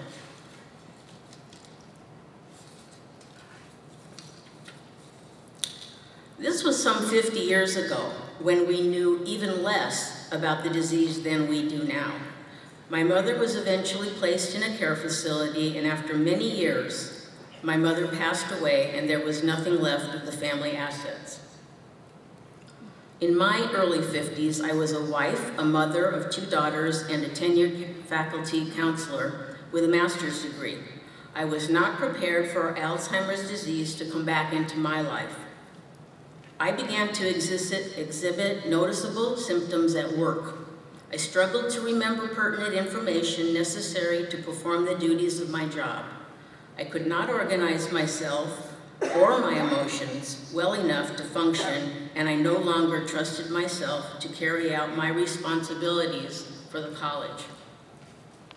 Colleagues became concerned and even approached my husband to try and address my obvious challenges at work. I endured a year-long series of testing, and at the age of 53, I was diagnosed with younger onset Alzheimer's disease. The process was difficult and made even more challenging by the lack of support I received from the medical community I depended on to take my concerns seriously. The diagnosis came with no treatment to, cure or slow the progression of the disease or any alternate outcome. Our lives changed dramatically. The two-income family that supported two children in college was gone. My husband became the sole supporter for our family and stress levels increased. My general health declined and my career ended long before any thought of retirement. my mind was failing and our plans for the future erased. What literally saved my soul was enrolling in several clinical studies at the University of California, San Francisco Memory and Aging Center. At UCSF, I received confirmation of my diagnosis with compassion and the invitation to participate in clinical studies. I gladly make the trip from Spokane to San Francisco and Berkeley to donate my time and experience with the hope that someday we will combat this disease. As a study participant, I have undergone MRI and PET scans, multiple spinal taps, and cognitive testing, as well as genetic testing. I have been enrolled in a sleep study to compare sleep patterns of individuals with a diagnosis and those without. I am currently enrolled in a retinal imaging and eye movement study that may impact how Alzheimer's disease is diagnosed. I am also evaluated for changes in my social functioning and emotional assessments.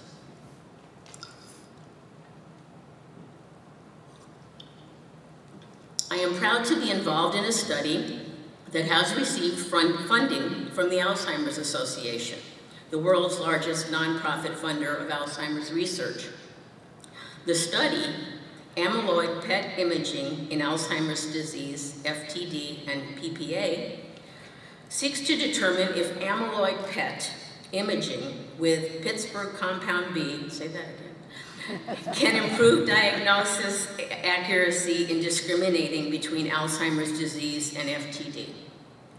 As a participant, I have received two PET scans after being injected with different radioactive markers to show the activity in the brain and the presence of amyloid. And there is a really good story there about how that happened. In addition to research funding, recruiting, and retaining trial participants, it is one of the greatest obstacles, obstacles to develop Alzheimer's treatments. I am happy to report that I can count myself among those participants as well as my spouse, George, who has participated in a study evaluating individual differences in emotional test, te processing. All of my involvement in these studies culminates with the donation of my brain to UCSF upon my death. Through participation in these studies, my self-esteem has been restored, and I, empowered, I am empowered to focus on the goal of a world without Alzheimer's. We simply must continue to live this life with the cards we are dealt. The quote I often use to emphasize this point is, barns burnt down, now I can see the moon. This is especially true for me as I'm compelled to accept my diagnosis and embrace my connection to the Alzheimer's Association as my new vocation.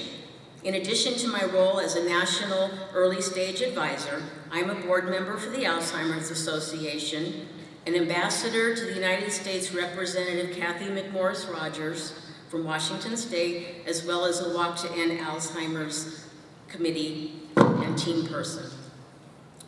Where do we go from here? We must continue to invest in research to address the causes and possible solutions to this disease. Your support will help us achieve medical breakthroughs in Alzheimer's disease in the near future. Research allows those of us living with the disease to have hope and future. It is all that is left to us. While there may, may be no sign of hope for recovery for me, we are charged with ensuring that our children and grandchildren, yours and mine, can live in a world free from Alzheimer's disease. In closing, I wish to simply say thank you for your dedication to raising needed funds for Alzheimer's disease. To date, NARFE members have raised almost 11 million for Alzheimer's research. It is because of the commitment and support from organizations like NARFE and people like you that future generations will one day only learn about Alzheimer's disease in the history books. Thank you.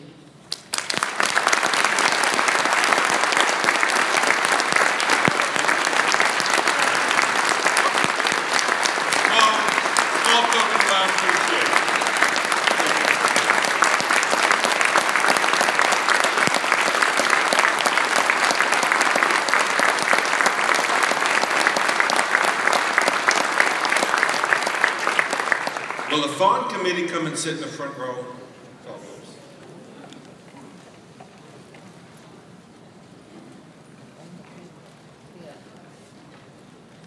Our next speaker is Harry Johns, the president and CEO of the Alzheimer Association. Since his arrival in 2005, thanks to the mobilization and important work of millions in the communities across America, as well as the dedicated staff, the association has changed the public discussion about Alzheimer's, raising the epidemic and its devastating human and economic consequences to significant new levels of recognition and support. Harry was appointed by the Secretary of Health and Human Services in 2011 to serve as a member of the Advisory Council on Alzheimer Research, Care, and Services. Following the 2013 G8 Summit, Dementia Summit, he was named to the World Dementia Council. He also serves CEO of the Alzheimer Impact Movement on the Executive Committee of Research America. Prior to joining the Alzheimer's Association, he was one of the four members of the executive team of the American Cancer Society. Harry is a graduate of Eckerd College and Northwestern University's Kellogg School of Business. Ladies and gentlemen, here from Chicago, the president and CEO of the Alzheimer Association, Harry Johns.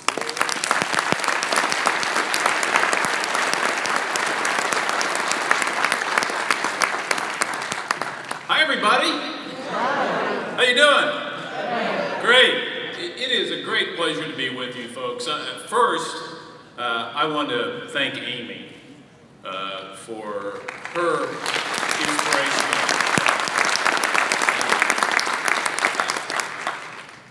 And I, I want to thank Jane and the committee and Joe and, and all of you folks.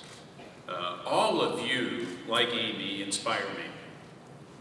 Uh, what you have done, what you have accomplished uh, since the mid 80s, raising $11 million invested directly in research that has helped to change the very knowledge about Alzheimer's disease. And as Jane said, will one day result in a cure as a result of your work. So thank you so much, first of all, for what you have done and what you're continuing to do. Uh, you are truly inspiring, not only to me, but to Danielle and all of our staff. Uh, we think so highly of, of you and what you've done. Uh, I just want to talk to you for just a few minutes about things that are happening, uh, especially since the last time you were all together and I had the chance to speak to you, because much has occurred, uh, much that's positive that adds to the hope uh, that we all have to get to that cure. And uh, I will tell you right now that I know, I'm confident, it is not a question of if, it's only a question of when. So let me just tell you about a few things that have happened cumulatively with the science and things that have happened more recently. First, what I want to tell you about, you, you probably know that the Alzheimer's Association hosts what is the largest research meeting in the world each summer. We just had that meeting.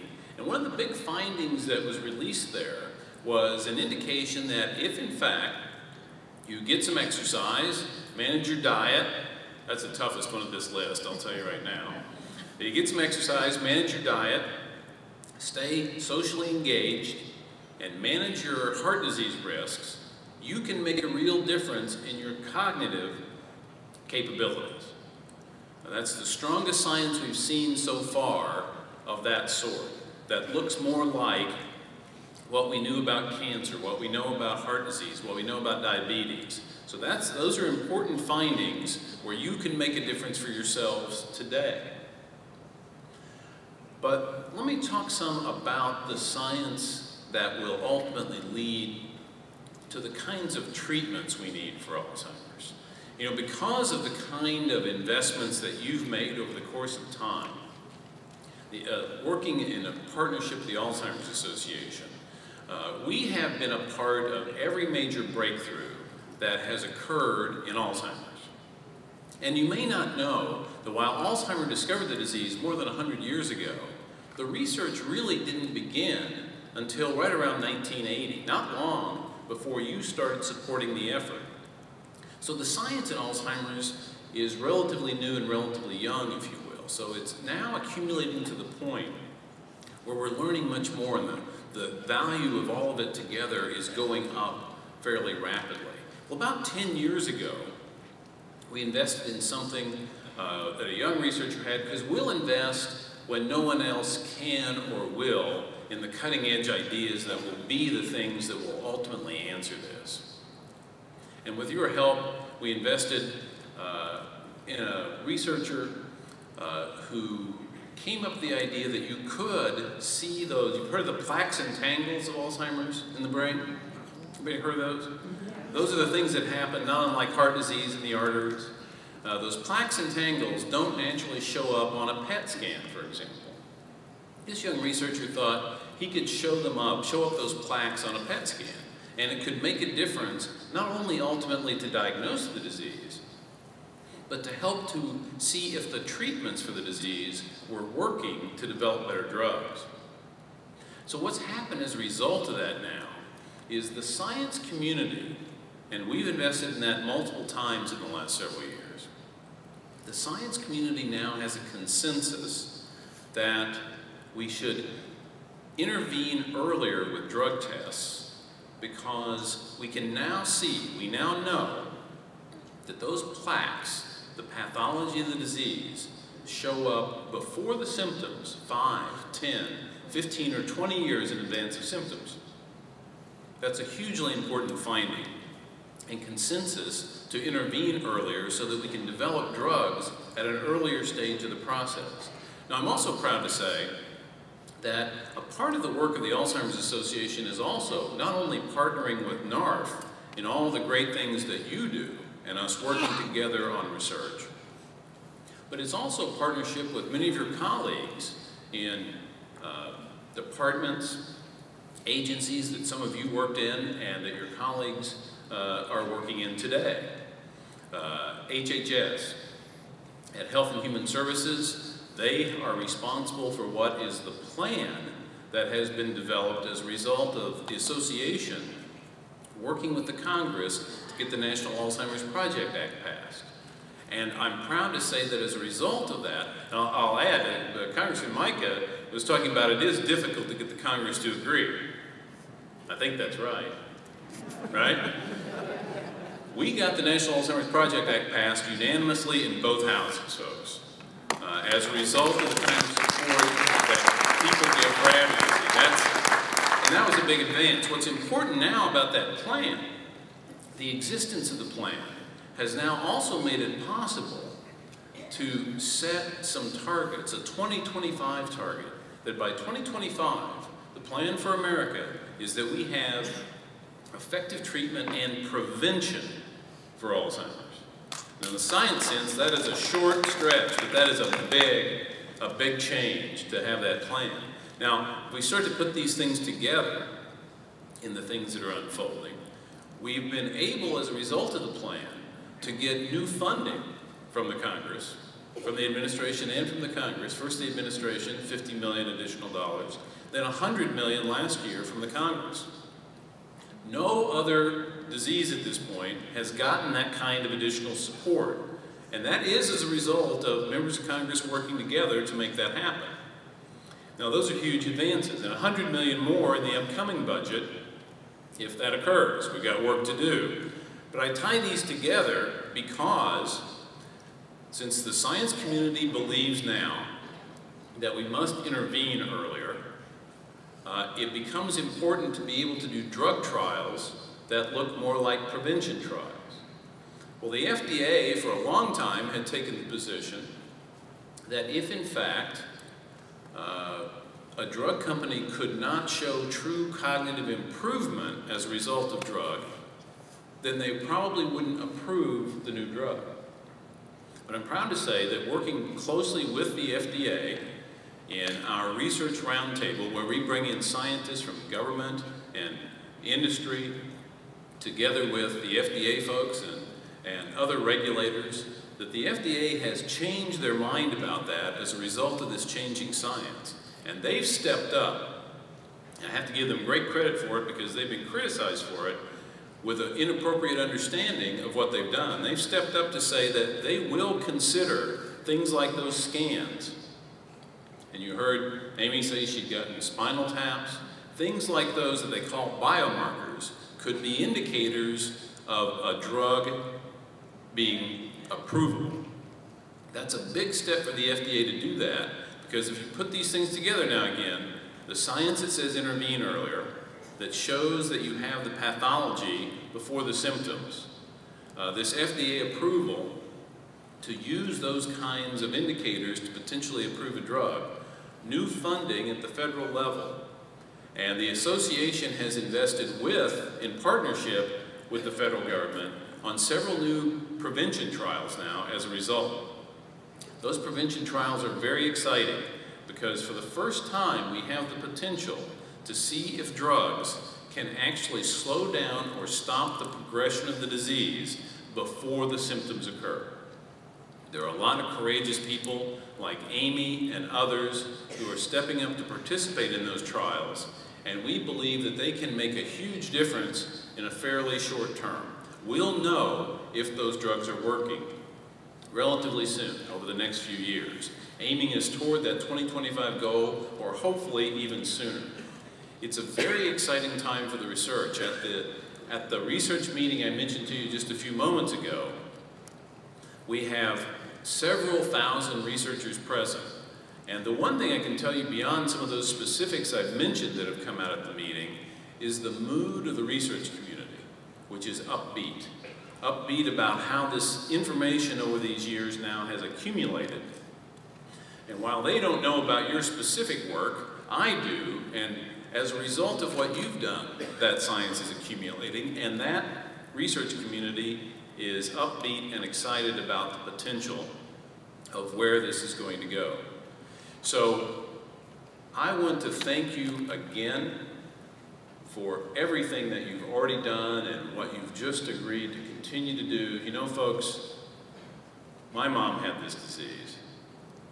I know that many of you, because I've worked with the committee closely, and I've talked to many others of you, you have been touched directly by this disease as well.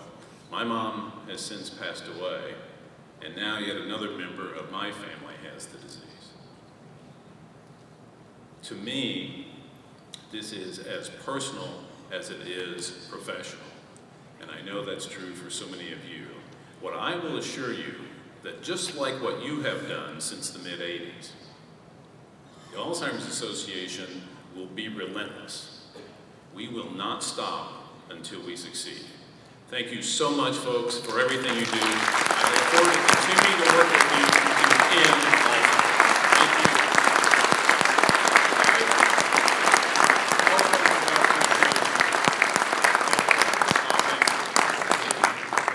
Thank you.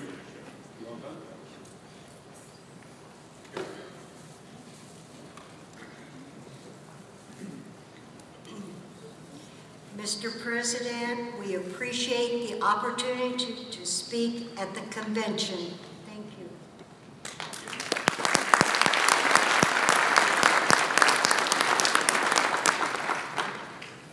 Jane whispered when she came in just a couple minutes ago, she said, geez, if everybody here would give $20, we'd meet our goal of 11 million. What a thought. And it's tax deductible. So you might want to think about that. We have one more piece of business here, and I'd like to recognize the Future of NARFE committee members. They were appointed back in July of last year. They worked very diligently and hard, came to Washington, or came and met a couple times in Washington. Uh, they met electronically a number of times. You've seen their reports, I'm sure, because we've mailed out the special edition of the Insider to all of the officers, and most of you are all officers. We've had it on the website, we've talked about it in various periodicals that we have. But I'd like to recognize the members for their work on the committee. So if you would start working your way up, Evelyn and Bill, and then we'll go alphabetically. Rodney and Bruce.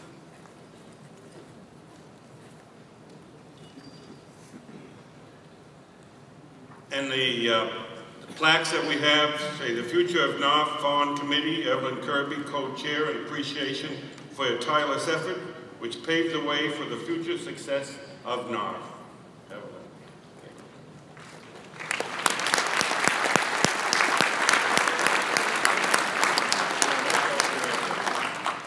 Just hold your applause, we'll get them all lined up, then uh, you can give the applause. Bill? William Wild Bill, no, it didn't say Wild, just said Bill. Shackelford, the co-chair, and basically saying the same thing we just said forever. Thank you. Rodney Adelman from Arizona, uh, in appreciation for your tireless efforts which paved the way for the future success of NARFE. Every one of them is going to say the same thing, I'm not going to say it anymore. Thank you. And we got Bruce Coleman. Bruce, thank you so much for being on the committee and the hard work you all have done. This does not look like old Bob, maybe it does. Old Bob Davidson. But old Bob couldn't make it and he asked Dick O here come and receive this for Nick Dick Ostergen, thanks Thank you for doing it. Thank you guys. Yeah. Uh, Jerry Hall. Oh, oh, I'm sorry, what's Tim, Tim? Yeah. I should have, I should just read this. Jim, thanks so much. Thank you. Now I'll just read the thing it says. And Lynn Harper, Lynn, thank you so much for your work.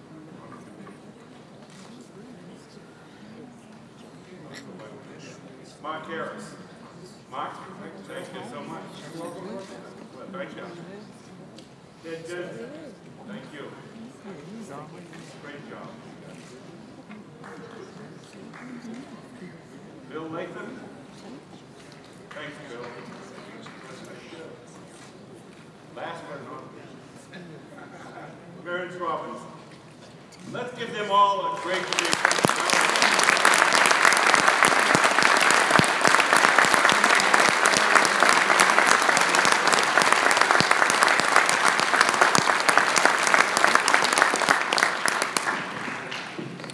This committee has taken and given us a roadmap for the future. Now all we gotta do is follow it. So, thank you so much for giving us the stepping stone to the future. Thank you.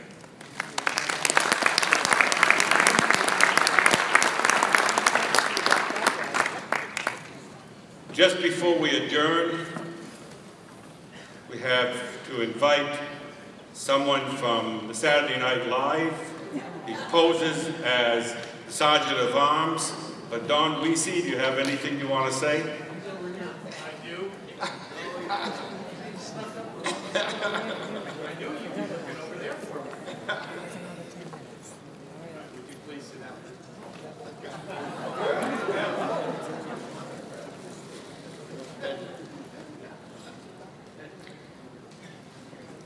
Good evening, fellow delegates.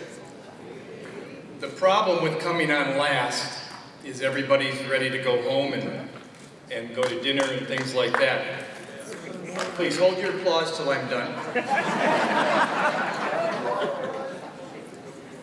But I hope to make this enjoyable for you. I take my job as Chairman of Sergeant at Arms very seriously but I do not take myself very seriously. So in keeping with character and, for, and in the moment, I will wear a hat that describes my presentation to our national president.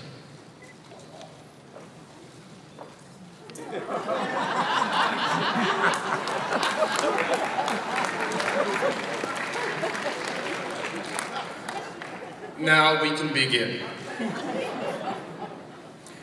It has been two years since we met in Sparks, Nevada. During those two years, I personally have been through three operations. I was bit by a feral cat and had to get a series of rabies shots. The cat died, by the way, shortly after biting me. And I was involved in a serious car accident on March 26, 2013, where I broke a vertebra in my neck. Now, during my hospital stay, our president sent me an email wishing me a speedy recovery. Joe stated that he wanted me to recover enough to attend this convention. After all, Joe wanted to get back at me for that onslaught of criticism I bestowed upon him two years ago.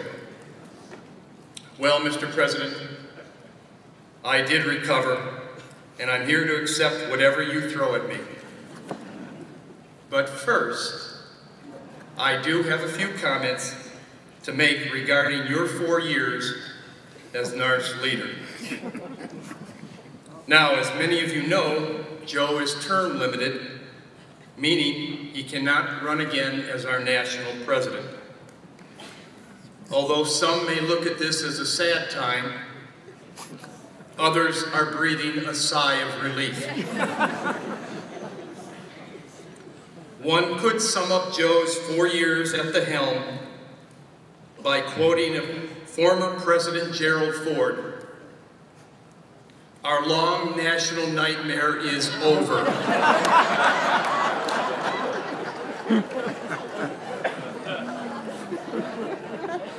I recall one of the past popes resigned because he didn't have the strength to do the job.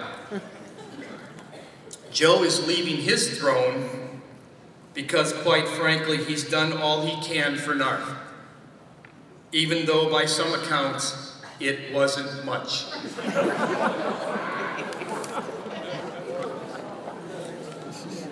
There are those who have described Joe as having the legal mind of Perry Mason, the investigative skills of Columbo, the intelligence of Albert Einstein, and the boldness of Roseanne. However, his critics viewed him just a little differently. They saw Joe as having the common sense of Homer Simpson, the personality of Archie Bunker, the success of Wile E. Coyote, and the work ethic of Larry the Cable Guy. When I think of Joe, I'm reminded of the classic film The Wizard of Oz. And I see a little bit of Joe in each of the main characters. He's much like the Tin Man in the fact that he has no heart when it comes to dealing with those in Congress. I'm sure there have been times these past four years when Joe would think of himself as the scarecrow and say to himself, I don't have the brains to know any better as to why I'm doing any of this. and I'll bet this towering figure we call our leader has trouble now and then finding his courage when it comes to dealing with his beautiful bride, Jane. Believe it or not, he's even reminiscent of Dorothy, especially when he's at his desk wondering where to find all these new members for NARFE. In the hallways of the headquarters, he could be heard singing, Somewhere over the rainbow, way up high. However, after all is said and done, Joe is really the awe-inspiring wizard himself. And come to think of it, he looks a little bit like the character in the movie. And just like the wizard was trying to help everyone get what they wanted, Joe is always helping his fellow NARFE members. As the wizard in the movie floated away in the air in his air balloon, Joe will soon be floating away as the wizard of NARFE. Joe, as you know, when things go poorly, the leader takes all the blame. And when they go well, people tend to forget who's really in charge. I spent the Reno convention and this one poking a little fun at you, and it's been done with respectful humor. After all, this is the man that sent me a happy birthday email indicating that my parents must be very proud of me, even though I was hatched.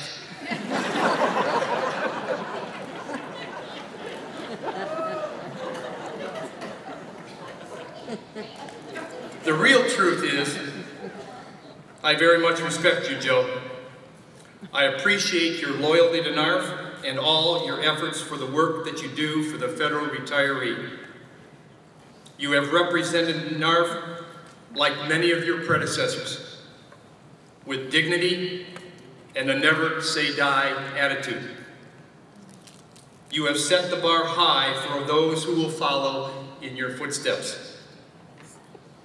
If there's one thing I could say that sums up my feelings towards you, it would be that I can call you my friend. I deeply thank you for your efforts these past four years, especially during very trying times for NARFE. You were always willing to fight the good fight, and NARFE is better off because of those efforts.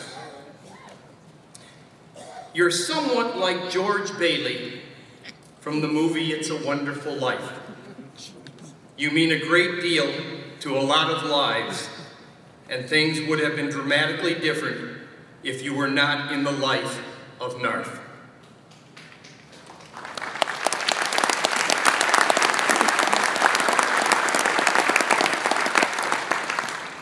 I can sum up your, your efforts in NARFE by quoting another famous politician.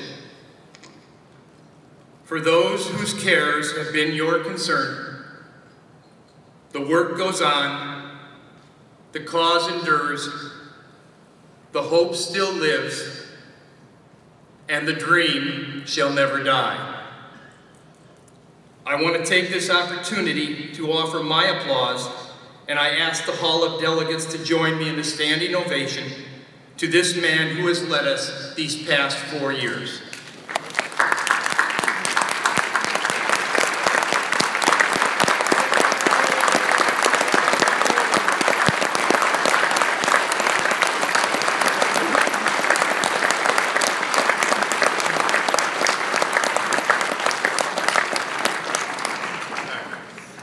Now we can get out of character and we get serious for a little bit. Uh, it's going to be short. I do have some announcements uh, to make in front of the group, but I do want to acknowledge your Sergeant at Arms Committee. And most of them are here tonight.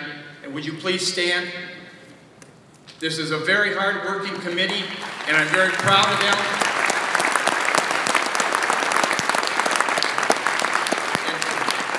We are here as, as servants to you, as in customer service, and if there's anything you need, see one of them and they will be able to help you. If they can't, I will, and if I can't, then you don't get help. now, keep in mind, we must follow the rules of the convention, meaning the Sergeant Arms Committee, and also the, the, uh, uh, the orders of my president.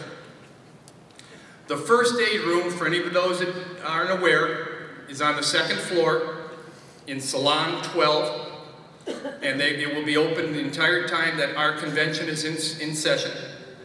And if we should have an emergency here within the convention hall, we have a system set up that we will, uh, I have radios and I'm in radio contact with the paramedics. They will be down immediately after being notified that we do have an emergency.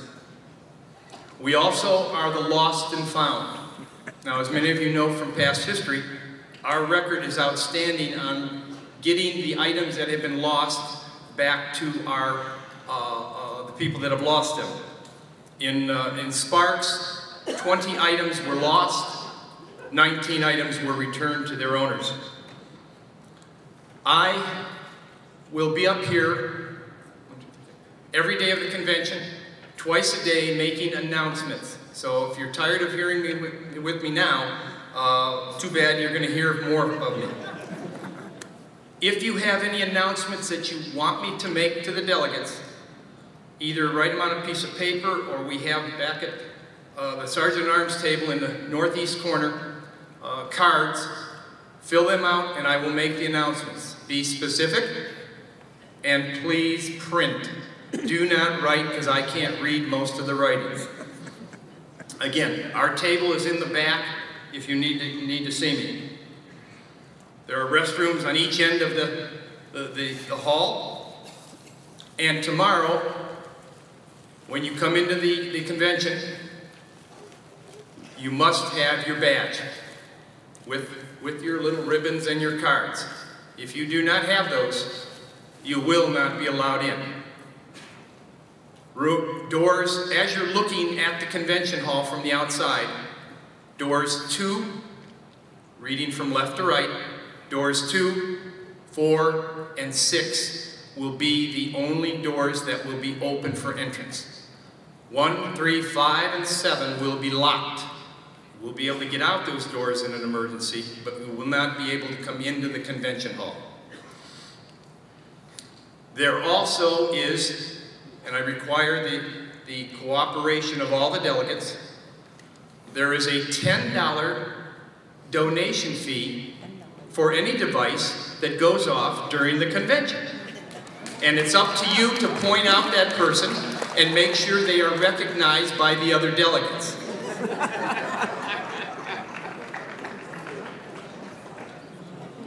And it was not mentioned before, but the restaurant, not Red's, but the other two restaurants offer a 20% discount on your bill uh, in, the- in, because you're with the convention. All right, now I will start the announcements that have been given to me so far for this evening. The Ohio Federation will meet tonight at 8 p.m. in room 239 uh, on the second floor. From Elaine Hughes, our National Secretary. Elaine is having a reception for Elaine for President reception in Suite 956 between 6.30 and 8.30 tonight.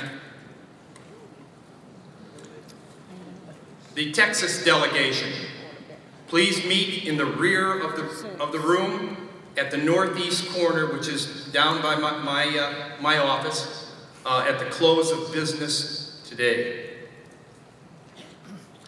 Region 2, you have a reception tomorrow, Monday, from 6 to 8 p.m., room 1056. The Georgia Federation, meeting 7 p.m. tonight in this ballroom. So I guess you'll have to figure out where in this ballroom. They did not uh, tell me where. The Virginia Federation members, please meet 7 p.m. today in Salon 8 uh, on the second floor. Uh, that's from uh, the uh, uh, Vice President. From the Alabama Federation, all delegates, attendees from Alabama Federation meet in this ballroom in the area nearest the U.S. flag up front immediately following this session. Just a short meeting. Yeah, yeah. I, I've heard that one before.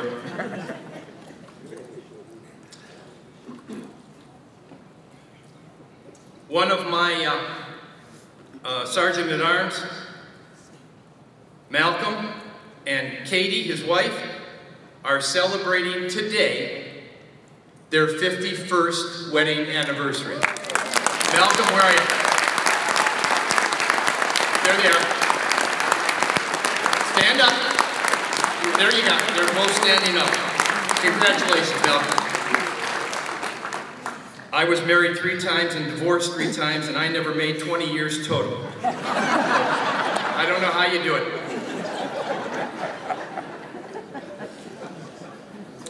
Outside our convention hall, we have the Alzheimer's table, we have the uh, NARFE PAC table, uh, so please make contributions to both of them, those worthy causes. And we also have a table for the NARFE FEEA Disaster Fund, which is a fund we have set up when there's disasters in the country, and we help out our fellow uh, uh, retirees uh, with uh, uh, money to try to make up for some of their losses. They are having uh, a raffle, and they have about 20, 20 to 25 uh, prizes that you can put your raffle tickets in to try to win. Now tomorrow, they will be open 8 a.m. to 6 p.m. So please give generously. It is a fundraiser, uh, and the prizes are terrific. This concludes my presentation. Uh, I was saddened that I was not the keynote speaker, but that's okay, uh, because they're, they're on and they're done with. You're going to hear more from me. So I thank you, and let's have a great convention starting tomorrow.